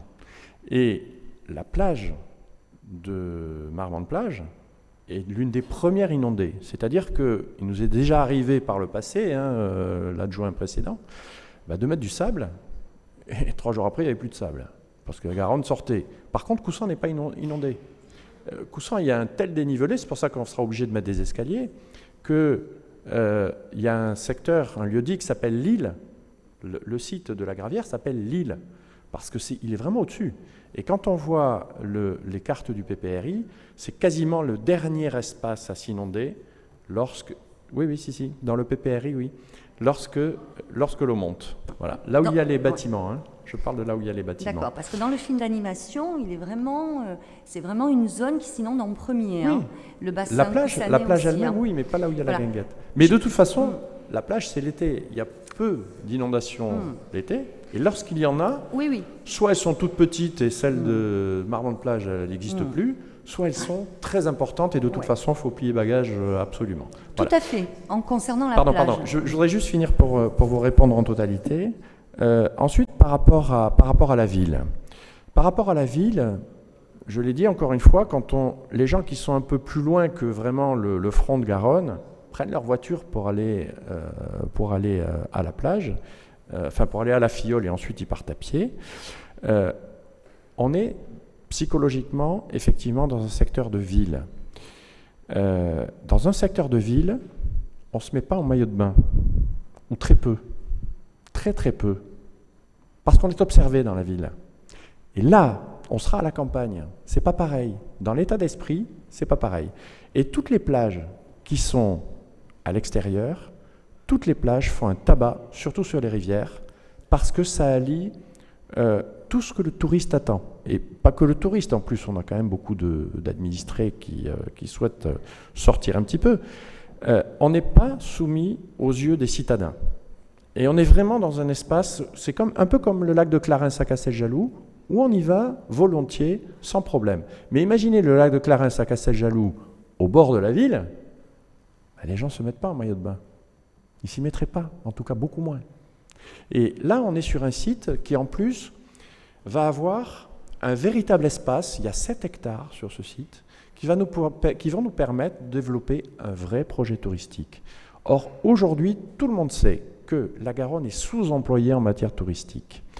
Et si on ne prend pas ce virage, on passe à côté d'une activité économique très importante. Je vous rappelle que nous avons à l'agglomération euh, commandé un, un rapport sur euh, l'économie de notre territoire, il y a trois ans maintenant, euh, qui s'appelle le rapport Portier, et qui a montré que nous étions à la moitié en dessous de ce que faisait la moyenne des agglomérations en matière touristique. On est à la moitié en dessous. Alors, on dit toujours notre territoire est super, on a plein de choses, etc. D'accord. Mais la conséquence concrète, c'est que ça ne marche pas. Ça ne marche pas. Donc, il faut trouver d'autres solutions. Alors, c'est un test. S'il n'y a personne, on ne pérennisera pas. Mais moi, je suis persuadé que cette plage marchera, pour beaucoup de raisons. D'abord parce que le lieu est fantastique, pour ceux qui le connaissent. Euh, ceux qui ne le connaissent pas, je vous invite à aller le découvrir. C'est un lieu qui est magique. Et en plus, euh, sur le plan touristique, il, il recueille vraiment toutes les qualités. Il est vaste, il est accessible, on peut venir en voiture pas trop loin, euh, on bénéficie vraiment d'une zone natu- naturelle et on peut développer là tout ce qui est paddle, canoë, etc. voilà. Oui. Donc juste par rapport à votre point numéro un, euh, en effet, c'est vrai, pour la première plage, la plage existante jusqu'à présent, euh, c'est compliqué en effet pour certaines personnes de s'y déplacer, et ça j'en conviens tout à fait. Mais par contre, du coup, depuis la Caille, il aurait pu exister un, mode de transport fluvial pour amener donc à cette plage.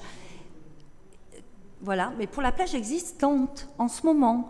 Euh, donc, moi, je, ne peux pas m'empêcher de penser que la proximité, l'accessibilité directe à cette plage, euh, près du centre-ville, faisant partie psychologiquement du centre-ville, c'est une plus-value pour la revitalisation aussi de notre centre-ville. Vous avez raison sur un point, c'est une plus-value. Mais c'est une plus-value qui ne rapporte rien. C'est ça le problème. Ça ne marche pas. Le plaisir de ceux qui y vont, je crois que, enfin, j'ai pas les chiffres, mais enfin, une année, il y a eu 8000 quand même personnes en un Bah été. oui, J'espère bien qu'on en aura beaucoup plus à coup ça. Parce que vous savez, quand vous prenez la voiture, vous voulez aller à la plage depuis Marmande, eh bien, Casteljaloux est à 20 25 minutes. Et c'est pas si loin. Donc, quand on prend la voiture, Et là, vous aurez Coussin à 5 minutes. oui, mais je prendrais peut-être pas la voiture. C'est pas le Monsieur, même produit. Monsieur Cerruti. Ah oui, à Coussin, il y a un superbe restaurant aussi, vous l'avez oublié. Euh, euh, il y a une boîte aussi, toi tu, tu te- tu te- tu veux t'amuser. Non, su- sur, le, sur, le, sur le fond, la marmande de plage a été mise en place dans la période où nous avons mis en place Aquaval. Aquaval, euh, c'était cher, très cher quand même. même si en prenant 50 tickets d'entrée, il y a une réduction, euh, les gens qui n'ont pas d'argent, vous pouvez faire tous les calculs que vous voulez. Et donc ça a été mis en place et ça favorisait euh, un espace pour les gens qui ne partent pas forcément en vacances et qui peuvent euh, l'été avec les enfants se balader et, mettre un peu les pieds dans l'eau, manger une glace, enfin se balader à la fillole, c'est assez sympa. Et je crois qu'il faut le maintenir, ça. Il faut, faut maintenir ce concept, il ne faut pas les opposer tous les deux, à mon avis. Euh, il faut réfléchir, il vaut mieux réfléchir comme ça que d'opposer l'un à l'autre. Voilà. Le, problème, c'est que j'entends hein, tout ce que vous dites, mais on a à respecter euh, les avantages et les inconvénients, mais aussi les charges. Maintenir deux plages, ça va coûter très cher. Donc ça, c'est pas possible. Il en faut une. Et étant donné l'échec de la première, relatif échec, parce qu'il y a quand même euh, effectivement du, bien-être à aller à la plage actuelle de Marmande, euh, je crois quand même que faire le pari d'un vrai développement touristique, aujourd'hui, ce serait une erreur de ne pas le faire ce serait une erreur vis-à-vis du développement de notre territoire. Donc, on verra. Peut-être que ça ne marchera pas, j'en sais rien, c'est toujours le discours que j'ai tenu. En tout cas, essayons-le, parce qu'il euh, y a là un vrai défi à, lancer, qui a commencé par le classement en commune touristique de, de Marmande, qui continue par de vraies infrastructures aqualudiques en bord de Garonne, et qui va ensuite se poursuivre par des équipements sportifs un peu partout sur la ville, euh, sportifs ludiques pour l'été, avec de l'hébergement. Mais ça, c'est dans une deuxième phase et on vous le proposera une autre fois. En tout cas, il faut qu'on reste sur une vision globale du tourisme sur notre territoire et sur la possibilité de créer un vrai secteur d'activité pour nos administrés. Y a-t-il d'autres questions? Oui. Oui, monsieur le maire, je voudrais savoir si les bâtiments existants vont être conservés, voire réhabilités. Alors, réhabilités, peut-être pas, sauf, euh, sauf hors d'air pour qu'ils ne s'abîment pas.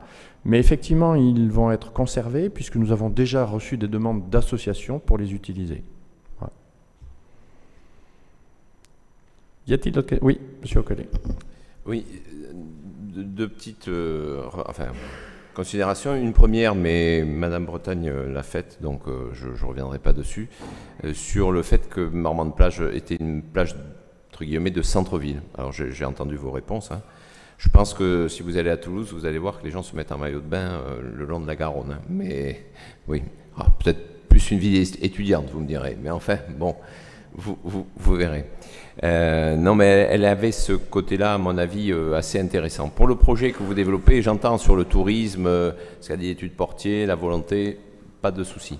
Est-ce que vous avez une étude, entre guillemets, de, de, marché Enfin, c'est toujours difficile, bien sûr, mais enfin, une estimation par rapport à, ce site-là, par rapport à un éventuel cheminement, ce qui a été évoqué le long de la Garonne, entre différents sites, Tournins d'Amazon, enfin bref, d'autres sites comme cela euh, ça, je trouve que ça manque dans la présentation. Ensuite, vous avez parlé d'une passerelle éventuelle, pas tout de suite, j'ai entendu. Passerelle au-dessus de la Garonne, je, techniquement c'est sûrement faisable, mais il y a de telles contraintes maintenant réglementaires que je ne sais pas. Mais enfin bon, les navettes fluviales, euh, euh, oui, ça fera combien de bateaux l'investissement Enfin, je, trouve que. Est-ce que vous avez des, subventions Est-ce que vous avez une réponse du FEDER Je crois que ça a été évoqué tout à l'heure.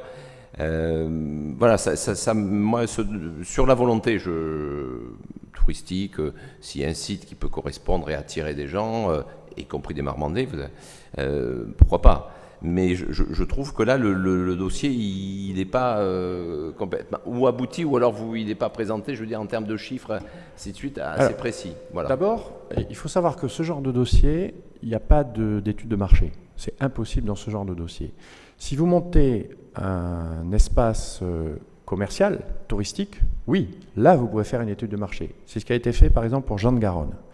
Là, c'est pas possible. C'est une activité de plein air euh, et d'adhésion. Donc on ne peut pas aujourd'hui dire on aura tant de personnes. Ça, c'est pas possible. Ou ça plaît ou ça plaît pas. Voilà. Donc ça veut dire que il faut tester et après on verra. On verra.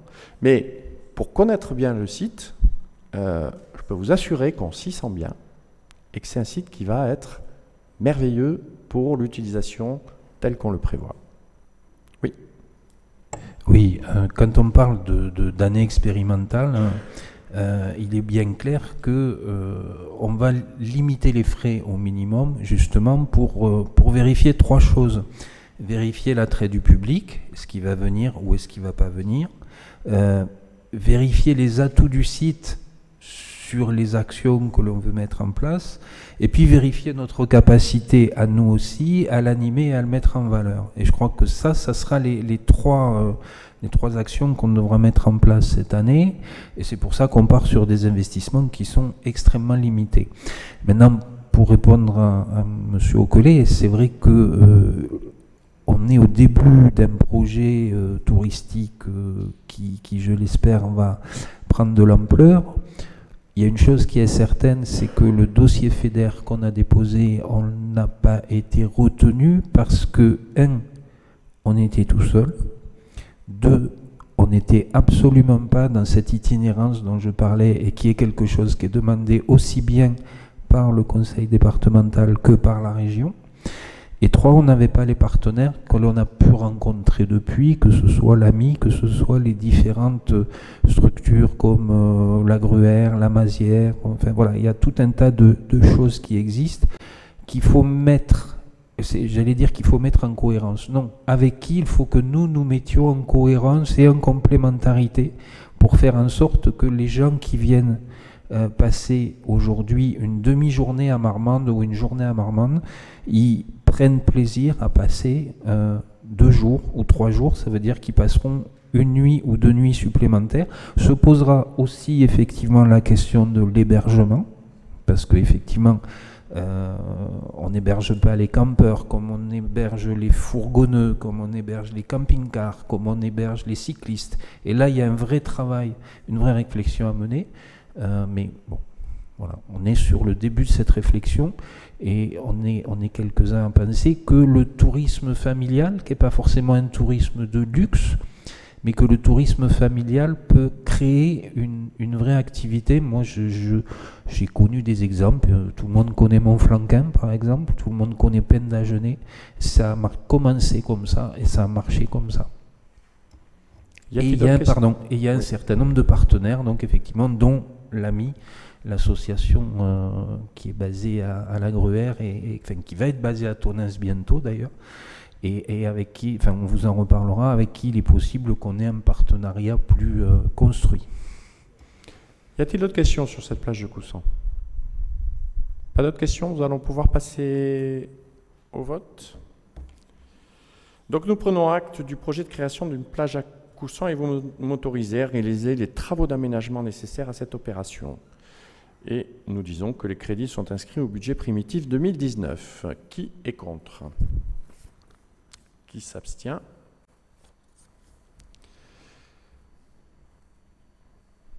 Je vous remercie. Dossier numéro 5, campagne 2019 de lutte contre la prolifération du moustique tigre et rédaction d'un arrêté. Je laisse la parole à Monsieur Cousineau. Oui, alors, euh, Monsieur Pascal Signa de la Brigade Verte va nous présenter un PowerPoint qui a été présenté euh, dernièrement dans le cadre de la réunion qui a été faite à Beissac il y a à peu près un mois sur euh, ben, le début, le lancement de la campagne. On a parlé plage, c'était l'été, ben, l'été euh, c'est les moustiques aussi. Donc c'est pour ça qu'on arrive, on va parler de moustiques. Et malheureusement, pas celui qu'on cherche, celui qu'on parle souvent, c'est le moustique tigre. Alors on va peut-être voir euh, un PowerPoint, voilà. Nous sommes le moustique tigre, campagne 2019. Alors, Pardon, et donc M. Signac, qui fait partie de la Brigade verte. Oui, c'est ça. C'est le but. Euh, c'est pour ça que j'ai demandé que ça soit. Ils sont deux. Il y a deux, deux agents assermentés au niveau Brigade verte. Euh, Monsieur Pascal Signa et Monsieur Pérez. Euh, donc ils sont deux à présenter cet aspect-là.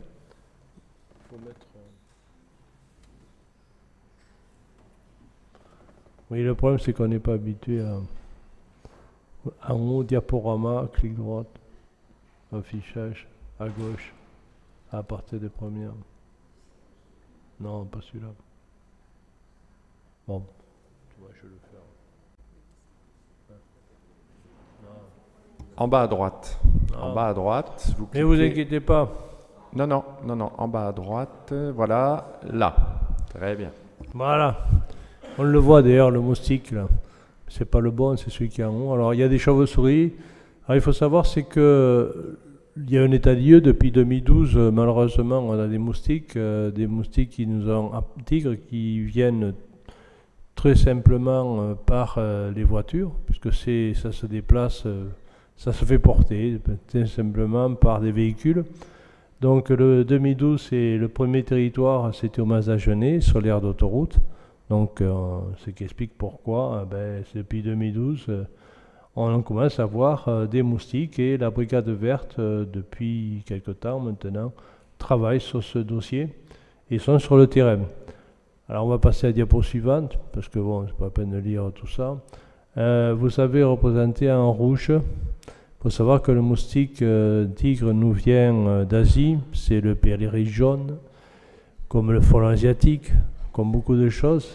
Ça nous arrive d'Asie. C'est arrivé par la Méditerranée, toujours par les échanges euh, commerciaux. Et euh, ici, depuis 2004, euh, est apparu en France, d'abord à Nice. Donc c'était tout le bassin méditerranéen qui était attaqué. Et on peut voir que maintenant, eh bien, on a plus de la moitié de la France qui est atteint. Tout ce qui est en rouge, c'est présence effective. Et ce qui est, on voit que sur la gauche, c'est la région parisienne, donc, euh, et également euh, l'Alsace est atteint. Et sur le Lot-et-Garonne, eh c'est encore euh, plus significatif, puisque à l'heure actuelle, on est à presque les deux tiers du territoire qui sont impactés, dont principalement, bien sûr, les trois les trois agglomérations, que ce soit Val-de-Garonne, enfin Marmande, Tonnes, mais également le Vinevoix et Agen. Donc on voit l'impact, ce qui explique pourquoi euh, Madame la préfète euh, a fait une réunion dernièrement en disant qu'il va falloir s'habituer à, cette euh, petite bête qu'on appelle le moustique tigre. On va passer à la diapositive suivante. Alors euh, déjà les actions, il faut savoir que pendant, on n'a pas, n'est pas resté les, bras croisés. hein. Il y a eu des réunions publiques. La dernière, c'était en mars 2018. Une large communication au niveau pri- privé, public, à travers les jardins familiaux, à travers les cimetières, des traitements des bassins de rétention. Il faut savoir que le long de la rocade, les bassins de rétention sont traités euh, depuis déjà 4 ans euh, avec des larvicides, on va en reparler après, des larvicides qui sont euh, biologiques, d'accueil physique et téléphonique justement par le biais de la brigade euh, verte, euh, des visites sur le terrain, des contacts avec les entreprises à risque et mise en demeure à ce niveau-là, l'intervention dans les écoles primaires, euh, notamment sur le temps périscolaire pour les enfants de 6 à 10 ans, un travail collaboratif avec différents services municipaux de l'agglomération, un dossier chauve-souris euh, en partenariat avec la Ligue de protection des oiseaux, la LPO, euh, malheureusement avec l'implantation de nichoirs.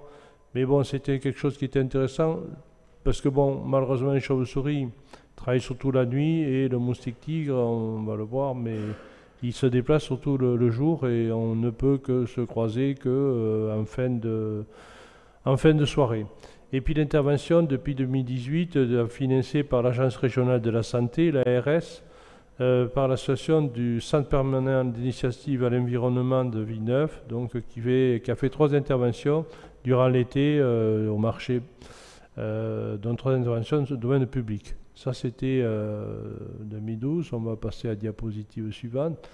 Alors, la nouveauté, bon, la nouveauté d'abord, euh, continue bien sûr les actions précédentes. Mais alors, ce qui est intéressant, c'est de travailler maintenant, ben, euh, d'abord le domaine public, le côté exemplaire. Donc, il y a un diagnostic qui a été fait au niveau du domaine public pour effectuer en interne les traitements larvicides. Ils sont commandés, euh, on va les recevoir d'ici la semaine prochaine, uniquement si nécessaire. Là aussi, on ne traitera que si c'est nécessaire. On ne va pas traiter un ordre d'idée, 50 euros le kilo d'un produit antilarvicide. Donc, euh, ça, on ne balance pas ça euh, n'importe comment.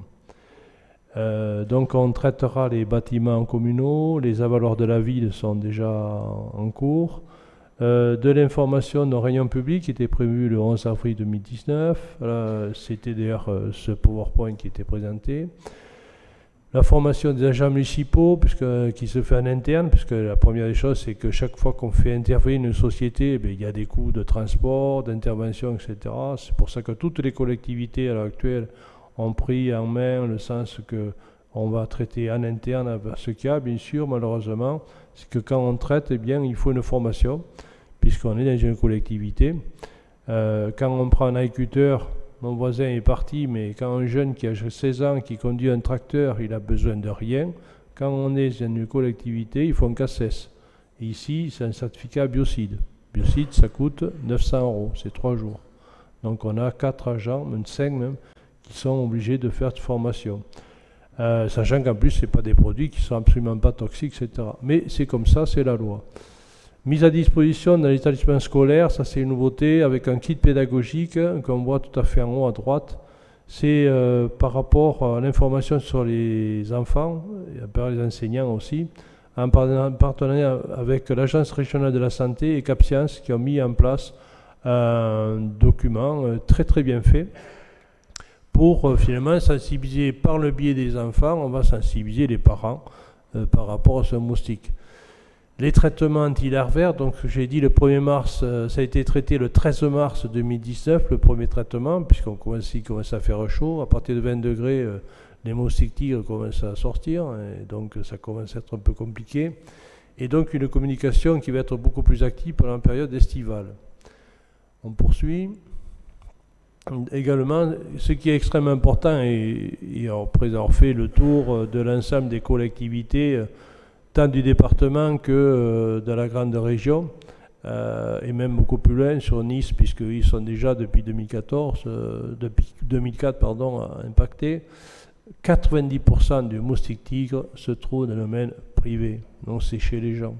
Donc nous, on va traiter, on commençait déjà à traiter les avaloirs, maintenant on va traiter à la fois tout ce qui est bâtiment, tout ce qui est les haies notamment, etc., dans le domaine public dans le domaine public, mais 90% c'est chez le particulier. Donc c'est pour ça que la rédaction d'un arrêté municipal portant ces mesures de prévention de lutte contre le moustique Aedes albopictus, donc euh, qui aujourd'hui, c'est aujourd'hui ce soir qu'on va arrêter, enfin créer ce fameux arrêté, euh, c'est bon on l'a pas inventé, c'est un registre, c'est déjà fait dans beaucoup de communes. Hein donc un arrêté qui porte sur les mesures de prévention, de lutte contre le moustique. Le but, c'est donc bon, le c'est pas le but, il est où? C'est tout simplement sensibiliser les sensibiliser vous avez vu à travers euh, le républicain, euh, c'est tu traites ou tu payes. Enfin, moi, c'était un, un truc assez choc. Mais c'était tout simplement, le but, c'est quand même de sensibiliser ben, le concitoyen de savoir que finalement, d'abord chez lui, il va falloir qu'il fasse quelque chose par une lutte mécanique, parce que c'est d'abord la première chose, c'est tout simplement de mettre les moustiques au sec. Mais il y a quatre ans qu'on dit qu'il faut mettre les moustiques au sec, et on en a de plus en plus, donc ça devient quand même compliqué. Donc, euh, deuxième chose, c'est qu'aujourd'hui, on va mettre en place un anti-larvaire, c'est-à-dire c'est une boutique qui va être mise en place sur la, sur la boutique des marchandises. C'est un, un, produit anti-larvaire dont on va voir la diapositive, mais que j'ai également dans les mains. C'est un larvicide biodégradable, s'appelle Larvomax, qui sera disponible en boîte de 10 comprimés euh, dans la boutique des marchandises. Et euh, donc c'est un produit qui est euh, bio, puisqu'on peut le traiter, éliminer les larves de moustiques dans les bassins, les étangs, les larves les fosses de récupération d'eau, tout en préservant l'ensemble des autres organismes, c'est ça qui est important, sauf les crustacés. Alors on a des cloportes qui est un crustacé, enfin bon, on n'a pas trop, trop quand même de problème vis-à-vis des crustacés, et euh, 10 comprimés, donc un traitement, ça fait à peu près 50 euh, mètres cubes, il manque, c'est pas un mètre carré, mais 4 cubes. Et ce qui est intéressant, c'est que c'est efficace pendant 5 semaines. Moi, je l'ai déjà depuis 2 ans, hein, je commandais sur Internet. Donc euh, là, on a commandé, c'est fait déjà, là aussi, ça a été validé, ça a été fait dans la journée. Tout ce qu'on vous dit, tout a été fait déjà, tout est déjà acheté, etc. C'est disponible donc courant mai euh, au prix de 10 euros. Donc ça fait... euh, voilà. Voilà le produit anti-larvaire qu'on va mettre en place, mais vous le trouverez également dans d'autres jardineries, notamment Ganvert pour ne pas la citer, avec d'autres produits que euh, on a travaillé avec euh, justement pour que les, les, personnes soient à même de pouvoir traiter euh, contre ces fameux moustiques.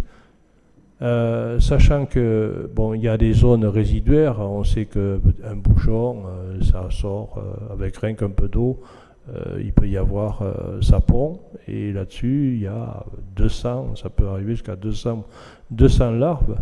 Et là-dessus, votre moustique, quand vous avez un moustique tigre, il ne vient pas de la rue qui se trouve de l'autre côté de la, ville. Il est à 100 mètres de vous. Donc il est autour de vous. Il est autour de nous. Et en plus, il vit le jour et il est surtout à l'heure de l'apéro. C'est pour ça que c'est embêtant, parce que c'est à l'heure de l'apéro, c'est là que, au moment où c'est qu'on va se mettre à l'apéro le soir, mais c'est là qu'ils sont le plus actifs. Alors, ce qu'il va falloir, ce qu'on fait, la nouveauté, donc c'est recenser aussi les entreprises à risque sur la commune. Et donc, euh, dès, le mois d'avril, on a envoyé déjà un courrier type de cahier des charges avec les obligations d'imposer au niveau règlement sanitaire départemental. Et, alors là, c'est là que euh, notre arrêté municipal, euh, voilà où c'est qu'on peut aller dans les pénalités. Alors moi, je connais pas, je je suis pas un responsable de la loi, mais vous voyez, K3, ça va de 68 euros à 450 euros. Bon, euh, la brigade verte est chargée d'accompagner euh, le Marmandais pour euh, enfin, on ne va pas verbaliser les gens hein, comme ça. Mais vous voyez un peu les pneus, vous devinez, là c'est un foyer, un foyer à moustique tigre. Et ça, on l'a vu avec la brigade verte, euh, puisque au mois de novembre, on a eu une société qui s'appelle Atopictus avec des scientifiques, des entomologistes, qui sont venus chercher euh, des gîtes larvaires et euh, de telle façon qu'on puisse se trouver sur place avec, ils travaillaient avec l'Institut Pasteur de Guyane. Alors on va finir avec, euh, je crois, un autre élément. Alors là, bon, bien sûr, euh, tout le monde parle du frelon, on va parler du frelon asiatique. Bon, là, euh, tout le monde connaît un petit peu ces pièges. Alors ces, pièges, le problème c'est que selon aussi bien l'INRA, l'Institut national de recherche agronomique, que le, deuxième chose, je cherchais, je cherchais son nom, c'est l'Institut, le Muséum d'histoire naturelle, on va chercher son nom, excusez-moi. Euh, ils sont pas très très favorables par ce type de piège parce que malheureusement on ne, ne détruit que euh, entre 5 et 10% de fondatrices euh, des frelons, mais le problème c'est qu'on peut détruire la biodiversité au niveau des insectes et que les meilleurs pièges seraient plutôt au mois de août, septembre, où là on va tuer un maximum de fondatrices jusqu'à 2000 fondatrices par nid. Mais bon voilà, c'est toujours intéressant de savoir qu'on peut mettre euh, des pièges, beaucoup de, en mettre, hein, et je crois que plus on en mettra, euh, mieux ça sera. Mais bon voilà, ça c'est une démarche participative. Et puis ben, on finira euh, avec une note dernière diapositive. Voilà. Merci, pas de quartier pour les moustiques surtout. Et puis moustique tigre, luttons contre son installation, sachant que si tout le monde se met à traiter, traiter euh, déjà en mettant au sec, enfin bon, de manière générale, on peut arriver à réguler à 80% les moustiques. 80%. Mais attention, 90%, c'est dans le domaine privé. Donc on a l'exemplarité, nous on va, la collectivité, la ville de Marmande, très impliquée. Un numéro de téléphone, parce que pour nous c'est extrêmement important, c'est pour nous ça sera la sentinelle. Si je vous dis ça, c'est parce que au début, les gens ils ont des moustiques, ils téléphonent. Alors il y a 4-5 ans, tout le monde téléphonait. Maintenant, ils n'avaient plus d'appels parce que les gens, ben, ils savent que ben, les moustiques, on fait avec. Et à Nice, ceux qui étaient dans le même cas, il y a quelques années, ils étaient le même- problème. Les gens, après, ils téléphonaient plus. C'est important, c'est que ce téléphone, en appelant, ça va permettre pour nous, la sentinelle, de savoir où c'est qu'on a des moustiques. Tigres. Voilà, merci de votre attention. Merci, Monsieur Cousineau. Y a-t-il des questions sur ce dossier? J'imagine que oui. Oui, Monsieur Oquelet.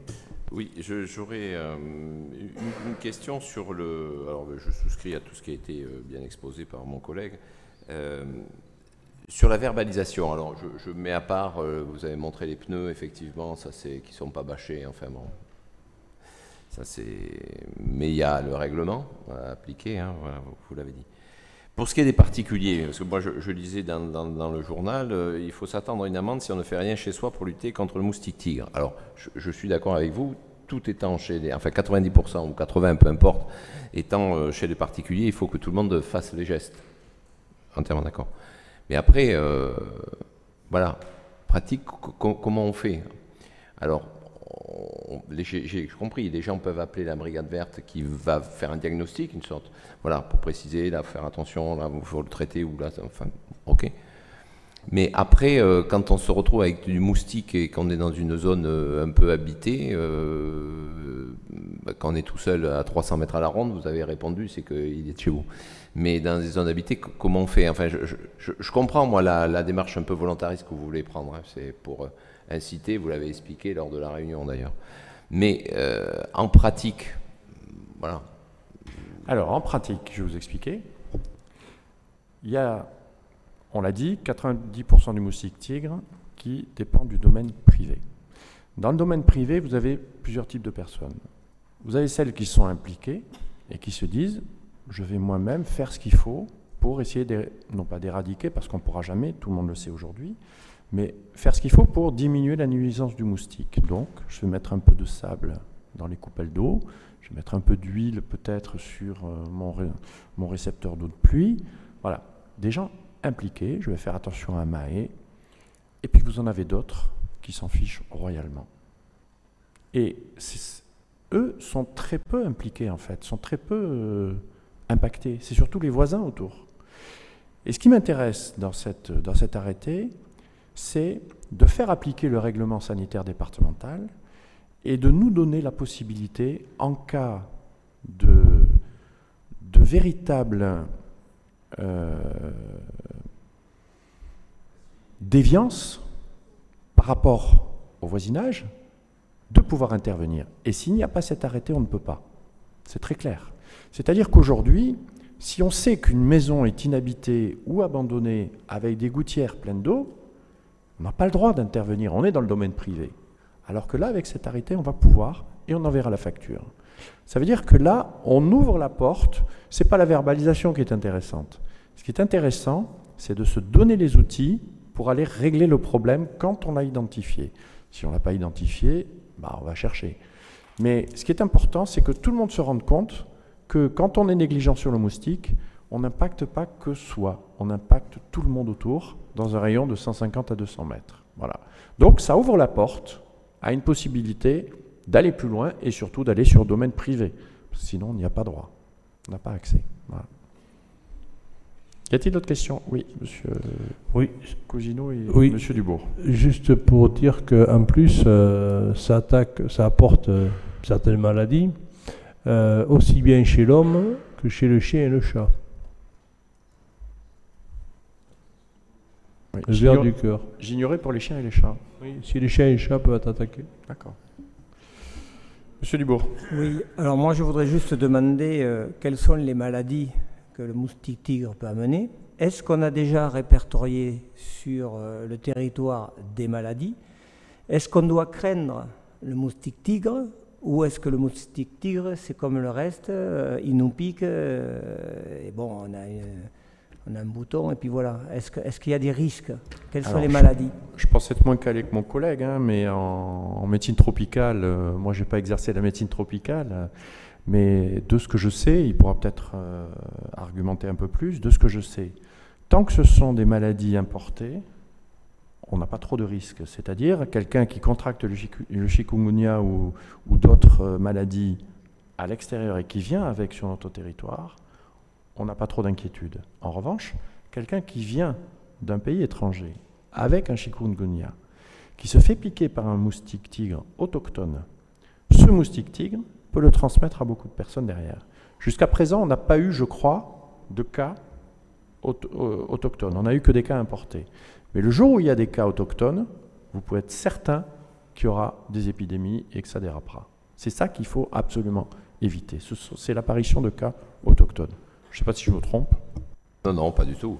Euh, effectivement, il n'y a pas eu depuis, euh, depuis qu'on est sous surveillance en niveau 1, donc c'est-à-dire euh, moustiques tigres implantés sur le, département, il n'y a pas eu de cas autochtones. Il y a eu des cas importés, dans un au Mas d'Agenais, dont un chez nous, hein, à Marmande, par la Gravette, euh, et, dans ces cas-là, l'attitude, voilà, c'est ce qu'a décrit euh, M. le maire. C'est-à-dire qu'une fois qu'il euh, y a un cas qui est repéré, alors pour ça, il faut que ce soit des gens qui se signalent, évidemment, hein,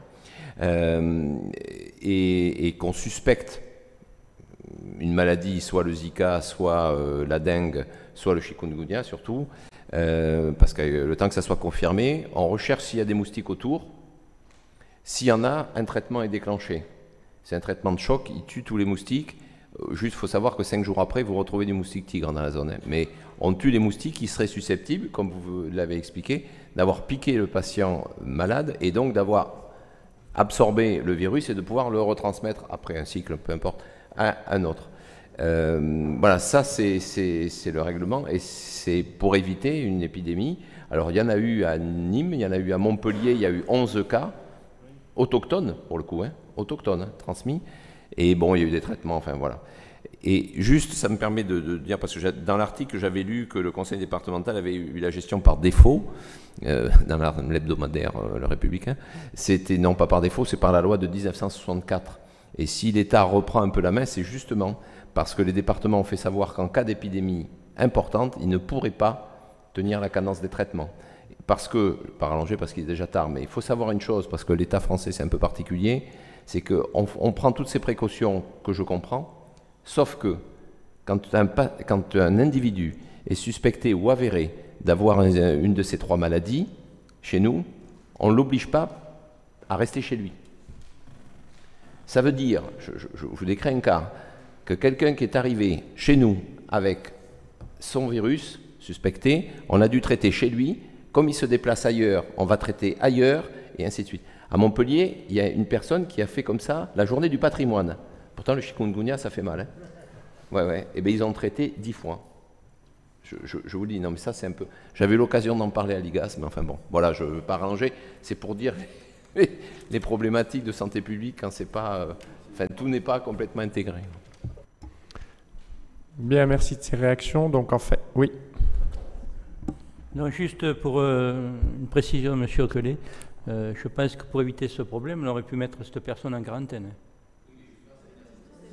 C'est interdit. C'est interdit. Voilà. C'est interdit. Donc, eh il faut faire avec. Alors, pour vous. Oui, monsieur Cerruti. Euh, pour euh, la prévention, il y, a donc un traitement anti-larvaire, si j'ai bien compris. Est-ce qu'on ne peut pas réduire le prix de 10 euros à 5 euros? Euh, parce qu'il y, a des gens, si vous voulez, non mais c'est 10 euros pour des gens, c'est très important, c'est dissuasif. Euh, je, dis, je dis, vous rigolez, mais c'est vrai. C'est vrai. Euh, réfléchissez à ce qu'il y ait des possibilités euh, on a des tarifs sociaux pour, tout un tas de dispositifs à la mairie. Pourquoi on n'aurait pas un dispositif particulier dans la mesure où il s'agit de santé publique? Monsieur Cerruti, je crois que je vais faire euh, la somme de tout ce que vous voulez offrir à tout le monde et je vais mettre en face euh, la fiscalité à laquelle ça correspond. Je crois qu'on va avoir quelques surprises. Donc, il faut faire de la prévention, il faut utiliser tous les outils on fait un prix à prix coûtant parce qu'on n'a pas du tout vocation à faire des bénéfices, hein, ce n'est pas du tout notre, euh, notre activité, et d'ailleurs on serait retoqué par le, euh, par le contrôle de l'égalité, mais voilà, on, fait tout pour que les choses soient les plus simples possibles. Bon, après, euh, oui, on peut tout offrir à la population marmandaise, tout offrir, mais il faudra bien que quelqu'un paye un jour. Oui?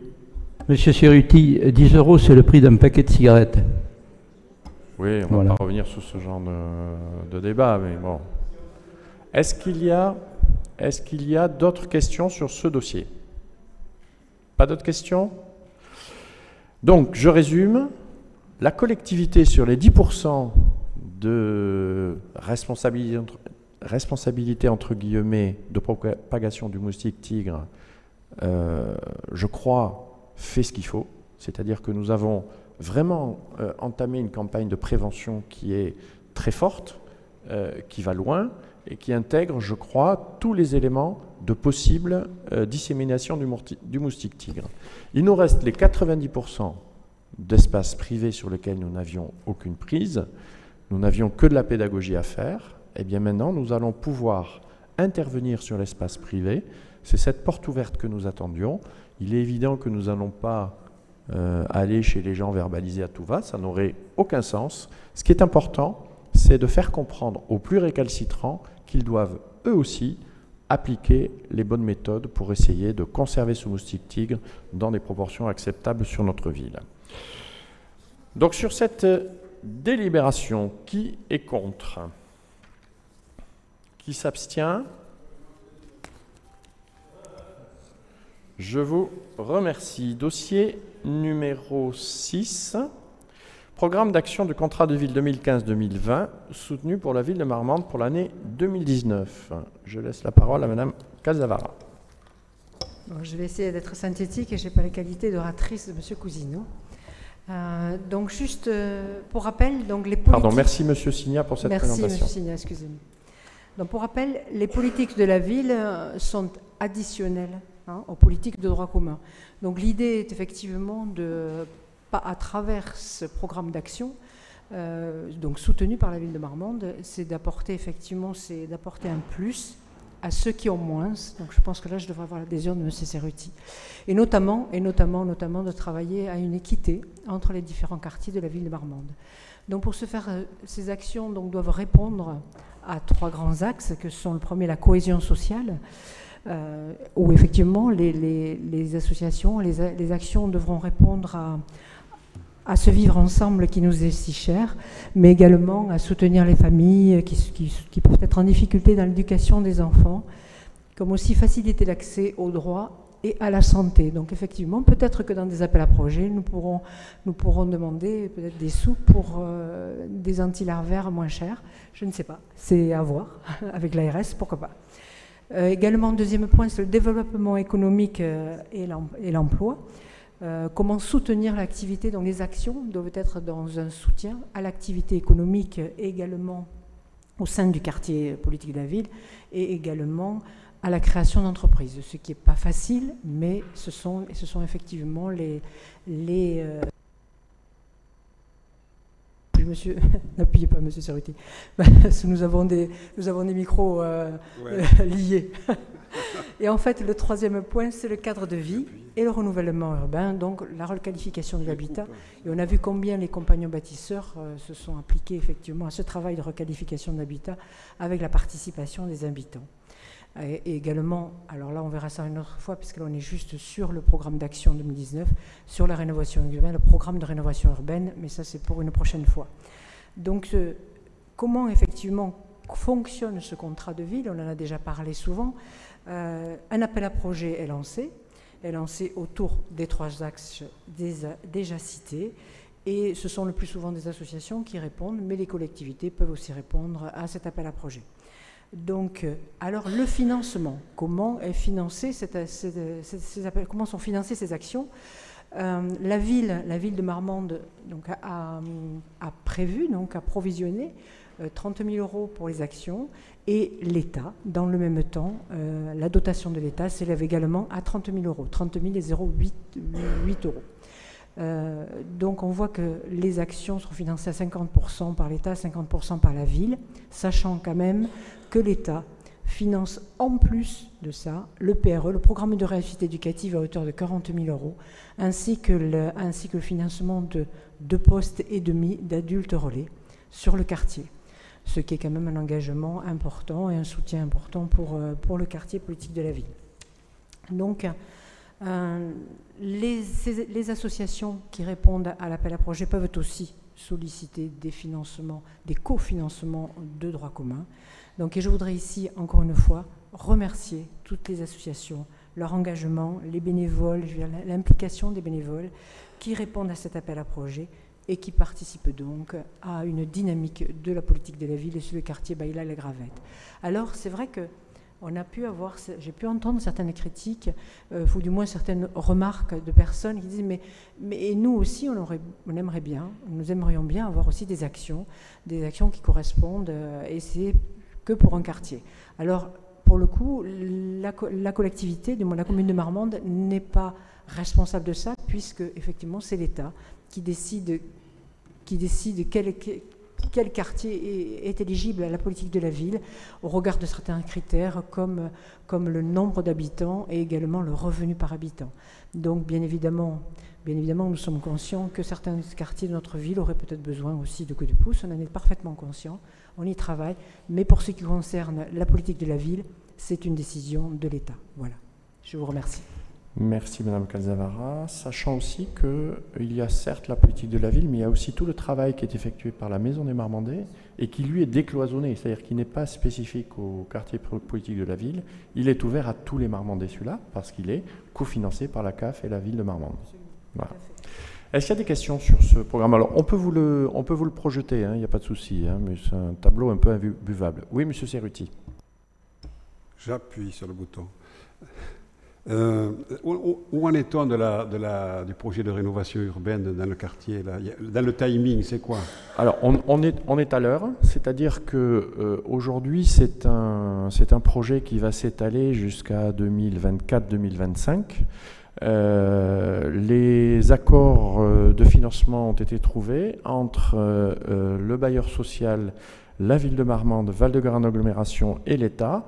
Et euh, voilà, tout. Alors c'est un très lourd projet, hein, puisqu'il y a la réhabilitation donc, euh, euh, des immeubles, il y a la requalification des espaces publics avec les jardins qui sont au milieu des immeubles, il y a les, les rues qui sont concernées, il y a le square de l'automne. voilà, donc on est sur un dossier très très lourd. qui va commencer, je pense, dans les mois qui viennent. et à mon avis, la rue de l'Automne, ça va démarrer assez rapidement. Et, ensuite, qui va se déployer sur encore 3-4 ans. Oui. On peut consulter le projet quelque part Ah oui, bien sûr. À quel endroit? Bien sûr.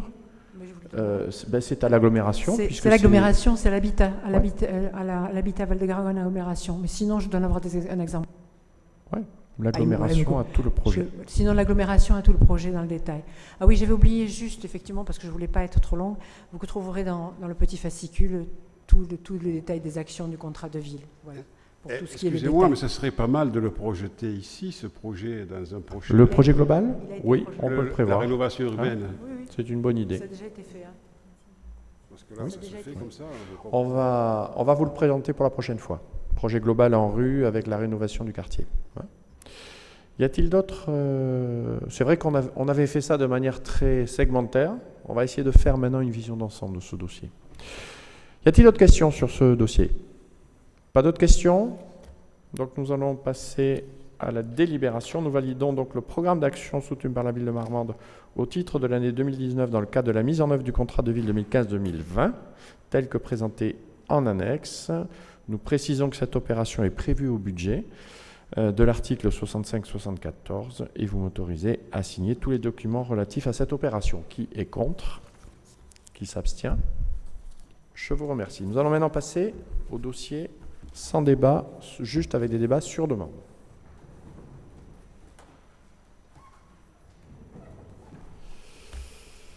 Dossier Numéro 7. Élection des représentants du conseil municipal auprès de différents organismes. Cela correspond donc au changement de composition du conseil municipal. Y a-t-il des questions? Qui est contre? Qui s'abstient? Dossier numéro 8. Élection des représentants du conseil municipal au sein de la commission d'appel d'offres. C'est la même euh, philosophie. Qui est contre? Qui s'abstient? Dossier numéro 9. Désignation des membres de la commission délégation de services publics. Qui est contre? Qui s'abstient? Dossier. Oui. Cette commission, de comment vous l'appelez Commission consultative euh, Commission communautaire. Ah. Consultative des services publics locaux, c'est ça? Commission de délégation de services publics. Ah non, c'est pas ça. Non. C'est pas la même. Donc, dossier numéro 10, proposition, désignation des membres de la commission de délégation de services publics, dossier numéro 9, pardon, qui est contre, Qui s'abstient Dossier numéro 10. Proposition des citoyens susceptibles de siéger au sein de la commission communale des impôts directs. Y a-t-il des questions? Qui est contre? Qui s'abstient? Oui, pardon.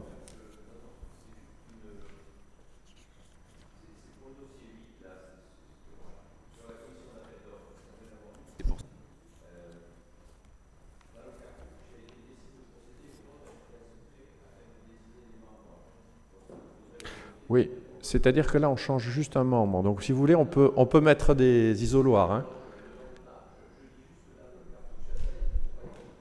Non. Si tout le monde est d'accord, il n'y a pas de problème. Mais on peut, on peut faire un vote. Dossier numéro 11, subvention exceptionnelle à l'USM Rugby. Il y avait une erreur de calcul. Y a-t-il des questions? Qui est contre? Qui s'abstient. Tarif de la TLPE 2020. Y a-t-il des questions? Qui est contre? Qui s'abstient? Dossier numéro 13. Candidature au marché d'achat de gaz naturel proposé par le, par le groupement de commandes pour l'achat d'énergie, de fourniture et de services en matière d'efficacité d'exploitation énergétique. Y a-t-il des questions? Qui est contre?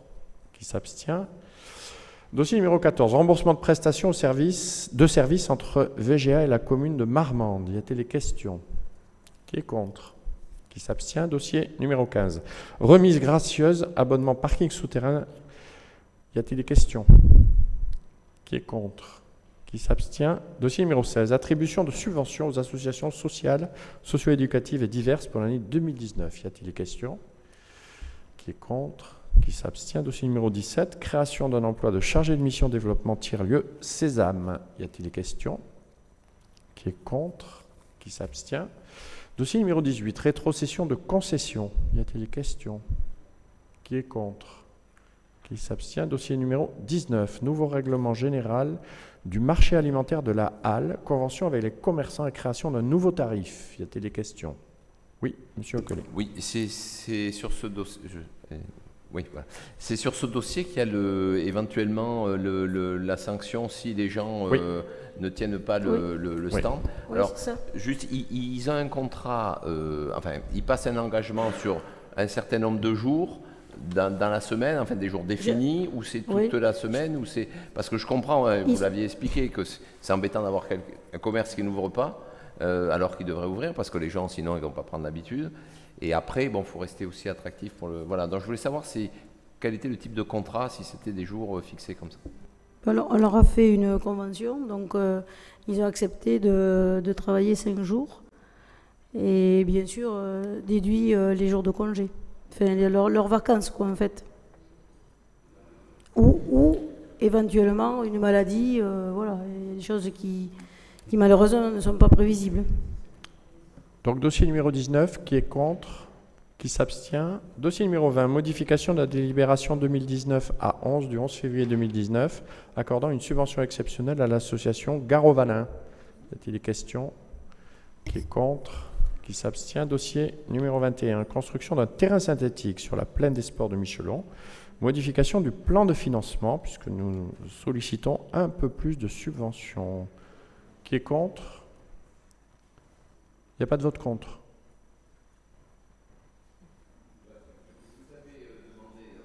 J'interroge. Non, micro, s'il vous plaît. Non, mais le, dossier, le dossier a été exposé, euh, voté euh, tel qu'il a été, et maintenant il déroule. Qu'est-ce qu'on va pas, pas faire des combats à la regard de quoi que ce soit. D'accord, mais non, comme vous aviez voté contre au budget. Mais oui, mais. C'est une subvention supérieure, donc je vois mal comment on pourrait voter contre. vous nous accuseriez d'incohérence. Je crois que vous n'avez pas demandé la parole, monsieur Manet. J'ai voté effectivement contre l'ensemble du budget dans lequel cela était, vous avez bien souligné. Très bien. Juste avant, il n'y avait que le dossier sur le. Donc là, vous votez pour, pour la modification du plan de financement. Bah, écoutez, le dossier y suit, bien sûr. Merci. Y a-t-il euh, d'autres. Euh, pas de vote contre? Je vous remercie. Euh, dossier numéro 22, demande de subvention au partenaire projet Médiathèque. Y a-t-il des questions? C'est un beau projet qui avance bien. Pas de questions? Qui est contre? Qui s'abstient? Dossier numéro 24, abattage d'arbres sur le boulevard Méniel, malheureusement. Ah, j'ai une erreur. Ah, j'ai une erreur, moi. Le 21, si, il est passé. Alors, je vais, prendre cette liste-là parce qu'il me semble qu'il y a des problèmes sur ma liste. Dossier numéro 23, étude de préfiguration Sésame. Attendez. Le 22, on l'a fait donc? Oui. Ah oui, j'ai pas la même. Euh, d'accord, on a un petit souci technique là. Dossier numéro 23, étude de préfiguration Sésame, régularisation de la demande de subvention FEADER. Y a-t-il des questions? Qui est contre? Qui s'abstient? Dossier numéro 24, abattage d'arbres sur le boulevard Méniel. Donc là, je crois qu'on reprend effectivement les bonnes. C'est bon. C'est bon. Oui, monsieur Dubourg. Oui, bon, moi je voudrais quand même apporter quelques précisions euh, par rapport à cet, effondrement. Euh, il faut savoir que sur le, boulevard Méniel, donc on a un effondrement à peu près d'une quinzaine de mètres. Donc ils sont euh, liés, bien évidemment, et on ne va pas revenir dessus, sur les arbres qui sont sur les, boulevards. Donc on a trois arbres qui, euh, avec les racines, ont effondré euh, donc, cette partie euh, d'égout bâti. Alors la problématique de, de cet égout bâti, c'est qu'il est, juste sur les fondations des maisons qui sont à côté, juste à côté. Donc il faut savoir que cet égout bâti, je ne sais pas, vous avez dû voir les, les rubalises, c'est à côté de la, de la radiologie qu'il y a sur, sur Boulevard Méniel. Il faut savoir que hum, euh, on a reçu quand même euh, trois offres, dont, enfin deux offres, et on a fait passer une troisième société. je pensais qu'on allait pouvoir euh, minimiser les coûts. Et en définitive, quand ils sont venus, ils, ont, ils, nous ont dit tout simplement qu'ils ne, ne remettraient pas d'offres. Donc on a quand même deux sociétés qui ont remis un devis.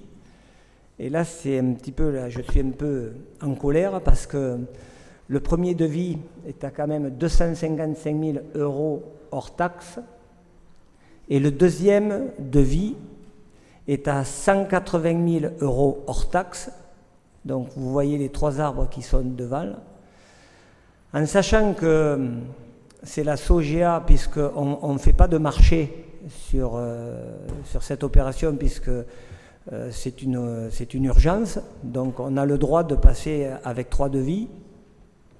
Il faut savoir qu'on va euh, reprendre sur une trentaine de mètres, pas plus, 30 mètres, 30 mètres, 200 000 euros. Ça fait cher, ça fait cher l'arbre. Voilà. Donc euh, il y a toujours eu cette polémique au niveau des arbres. Je pense, monsieur le maire, qu'il va falloir se pencher un peu plus sérieusement sur ces problématiques quant à, tous les arbres euh, qu'il y a sur, euh, sur boulevard Méniel, parce qu'il faut savoir que le boulevard Méniel n'est pas en séparatif, donc il faudra le mettre en séparatif. Il y a une partie du boulevard Casse, il y a aussi tout Gambetta, et donc on a des arbres qui sont, qui sont partout plantés sur les réseaux. Et je pense que ce type de, de, problématique, ben, on va en avoir d'autres. On a contacté euh, avec euh, M. Erwan Bourdillon, on a contacté déjà une grosse société euh, parisienne qui ne font que ça, où il va falloir passer des caméras, mais on va aller plus loin, il va falloir aussi scanner, parce qu'aujourd'hui on a les arbres qui, qui prennent un sandwich ces égouts bâtis et qui viennent chercher avec les racines par, par le dessous. Et le problème, ce n'est pas tellement l'effondrement de l'égout lui-même, c'est l'effondrement qu'il pourrait y avoir à côté des égouts.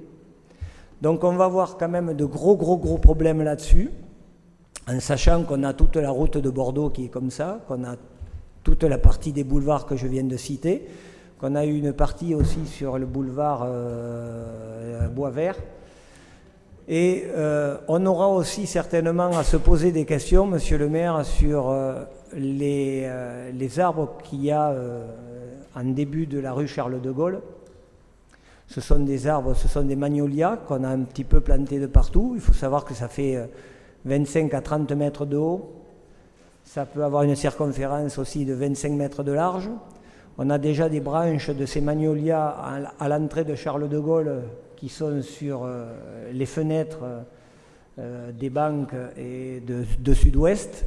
Donc je pense qu'il va falloir avoir une sérieuse étude sur, euh, sur tous ces arbres qui aujourd'hui nous causent de très très gros problèmes sur les réseaux et qui plus est, à, ce prix-là, je pense que, bon, voilà, je ne sais pas s'il va falloir faire des enveloppes supplémentaires, mais à ce rythme-là, euh, je pense que ma, ma, collègue à ma gauche va faire des bons s'il faut. C'est un vrai problème qu'il va falloir prendre effectivement à bras le corps dans les années à venir. Il faudra être très judicieux dans les plantations que nous allons faire, lorsque nous les changerons, ces arbres-là, parce qu'il faut les changer. Euh, en revanche, il faudra bien choisir euh, et ne pas abattre des arbres qui ne sont pas embêtants. Et je veux parler là justement du début de la rue Charles de Gaulle. Jusqu'à aujourd'hui, je n'ai pas le sentiment qu'ils soient gênants. On verra, peut-être qu'ils le sont, mais je n'en sais rien. Je n'ai pas le sentiment qu'ils le soient. Donc il faudra vraiment avoir des décisions au cas par cas. Oui, alors justement, pour parler de ça, euh, cette, société à Paris, ils ont des scanners.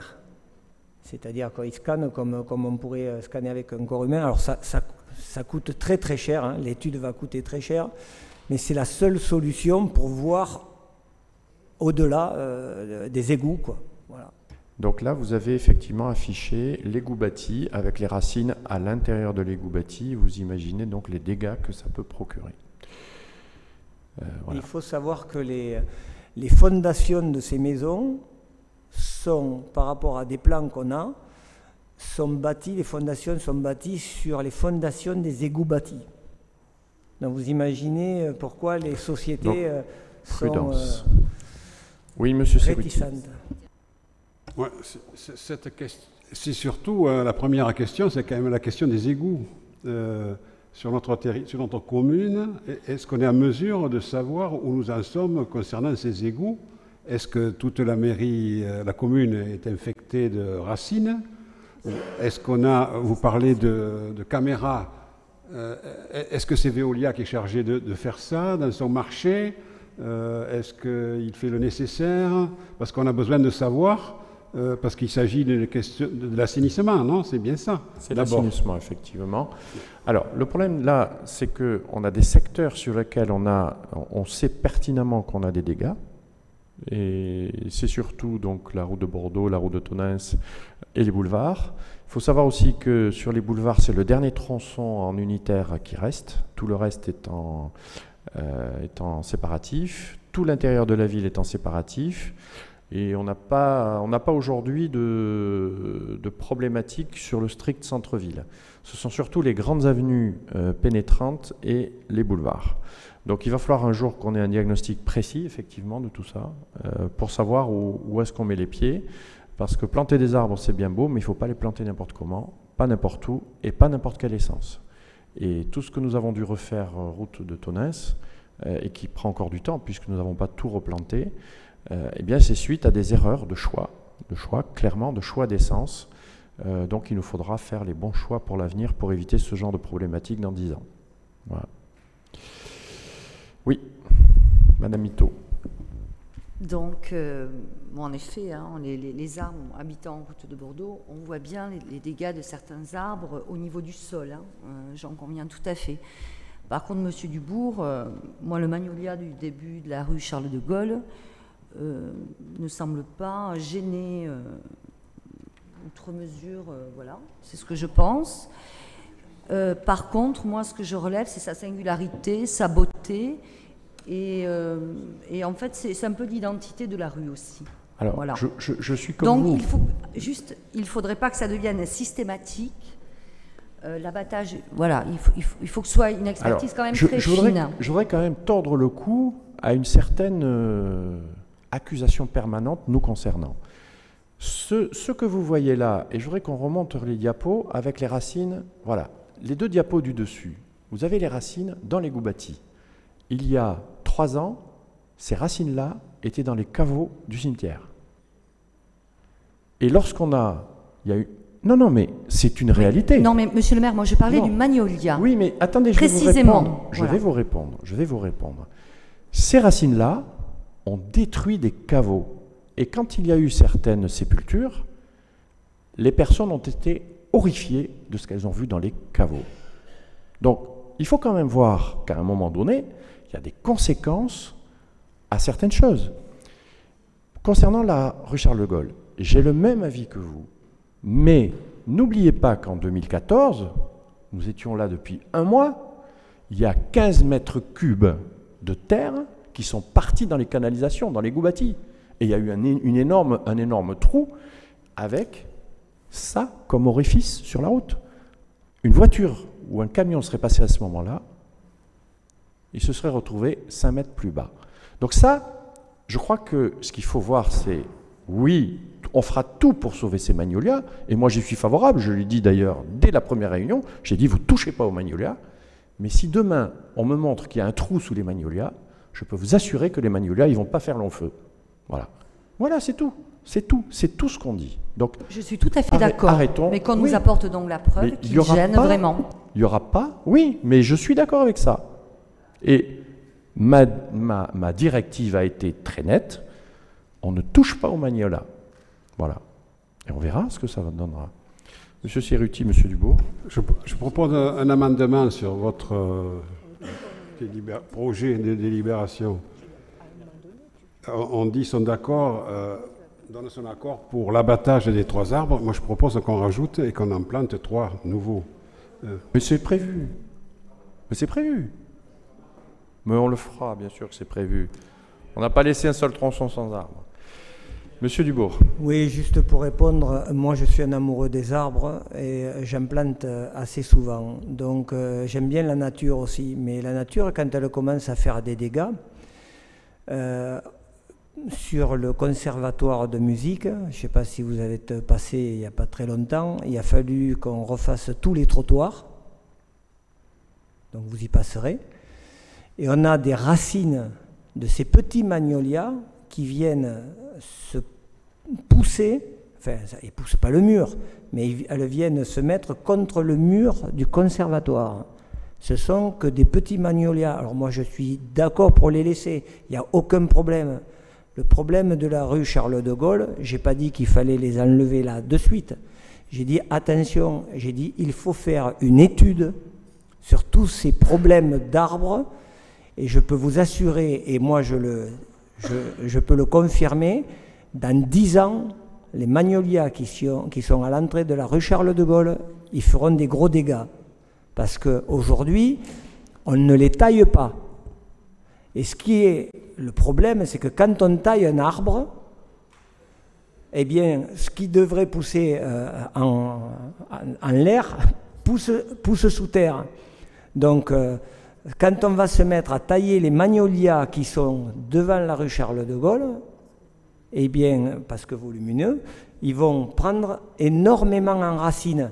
Alors je ne dis pas qu'il faut les enlever, je suis entièrement d'accord avec tout le monde. Je dis attention, il faut qu'on fasse une étude là-dessus, et ça c'est très important, et notamment pour les réseaux, parce que quand on voit le prix, parce que par rapport aux travaux que l'on va faire là, ils vont détourner sur 30 mètres les goûts bâtis, 30 mètres, hein, c'est pas long, hein, et ils vont colmater l'ancien égout bâti.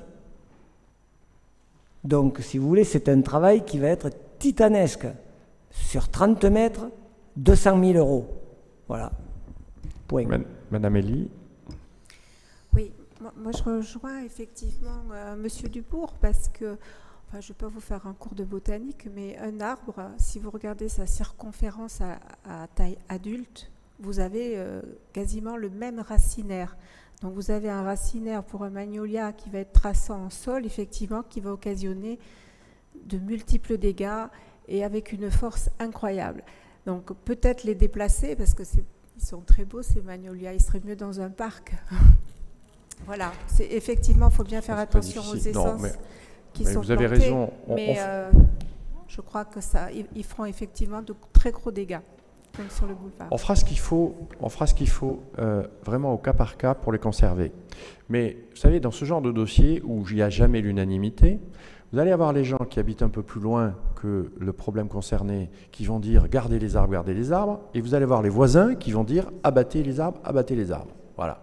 Donc le souci est de prendre au cas par cas, de voir quelles sont les nuisances, s'il y a de fortes nuisances, de les enlever et de replanter autre chose. Voilà. C'est ça l'engagement que nous prenons et c'est ça l'enjeu de ce dossier. Pas d'autres questions sur ce dossier? Donc ce dossier 24, qui est contre? Qui s'abstient? Je vous remercie. Dossier numéro 25. Acquisition d'une partie euh, de la parcelle EN 63 rue de l'Automne appartenant à Habitalis, Square de l'Automne. Des questions? Qui est contre? Qui s'abstient? Dossier numéro 27. Déclassement dans le domaine privé de parcelles appartenant au domaine public communal, ES 225. Y a-t-il des questions? Qui est contre? Qui s'abstient? Dossier numéro 28. Déclassement dans le domaine privé de parcelles appartenant au domaine public, cadastré section ES. Y a-t-il des questions? Qui est contre? Qui s'abstient? Dossier numéro 29. Déclassement dans le domaine privé de parcelles appartenant au domaine public, HH 271. Des questions? Qui est contre? Qui s'abstient? Dossier numéro 30. Rétrocession d'une partie de la parcelle cadastrée IR 134 au 10 bis rue Porte-Gruero à la commune de Marmande par VGA. Y a-t-il des questions? C'est une parcelle que nous allons tout de suite revendre. Qui est contre Qui s'abstient Je vous remercie. Dossier numéro 31. Vente d'une parcelle cadastrée IR 134, 6, 10 bis rue Porte-Gruaro.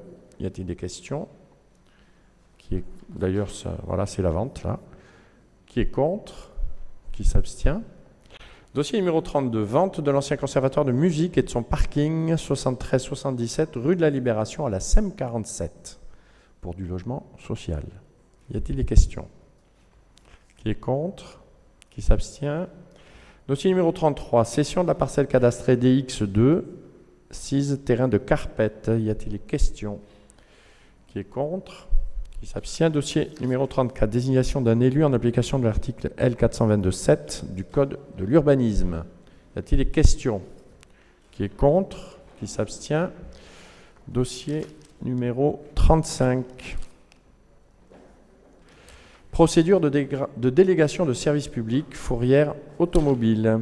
Y a-t-il des questions? Qui est contre? Qui s'abstient? Y a-t-il des questions sur les décisions? Pas de questions.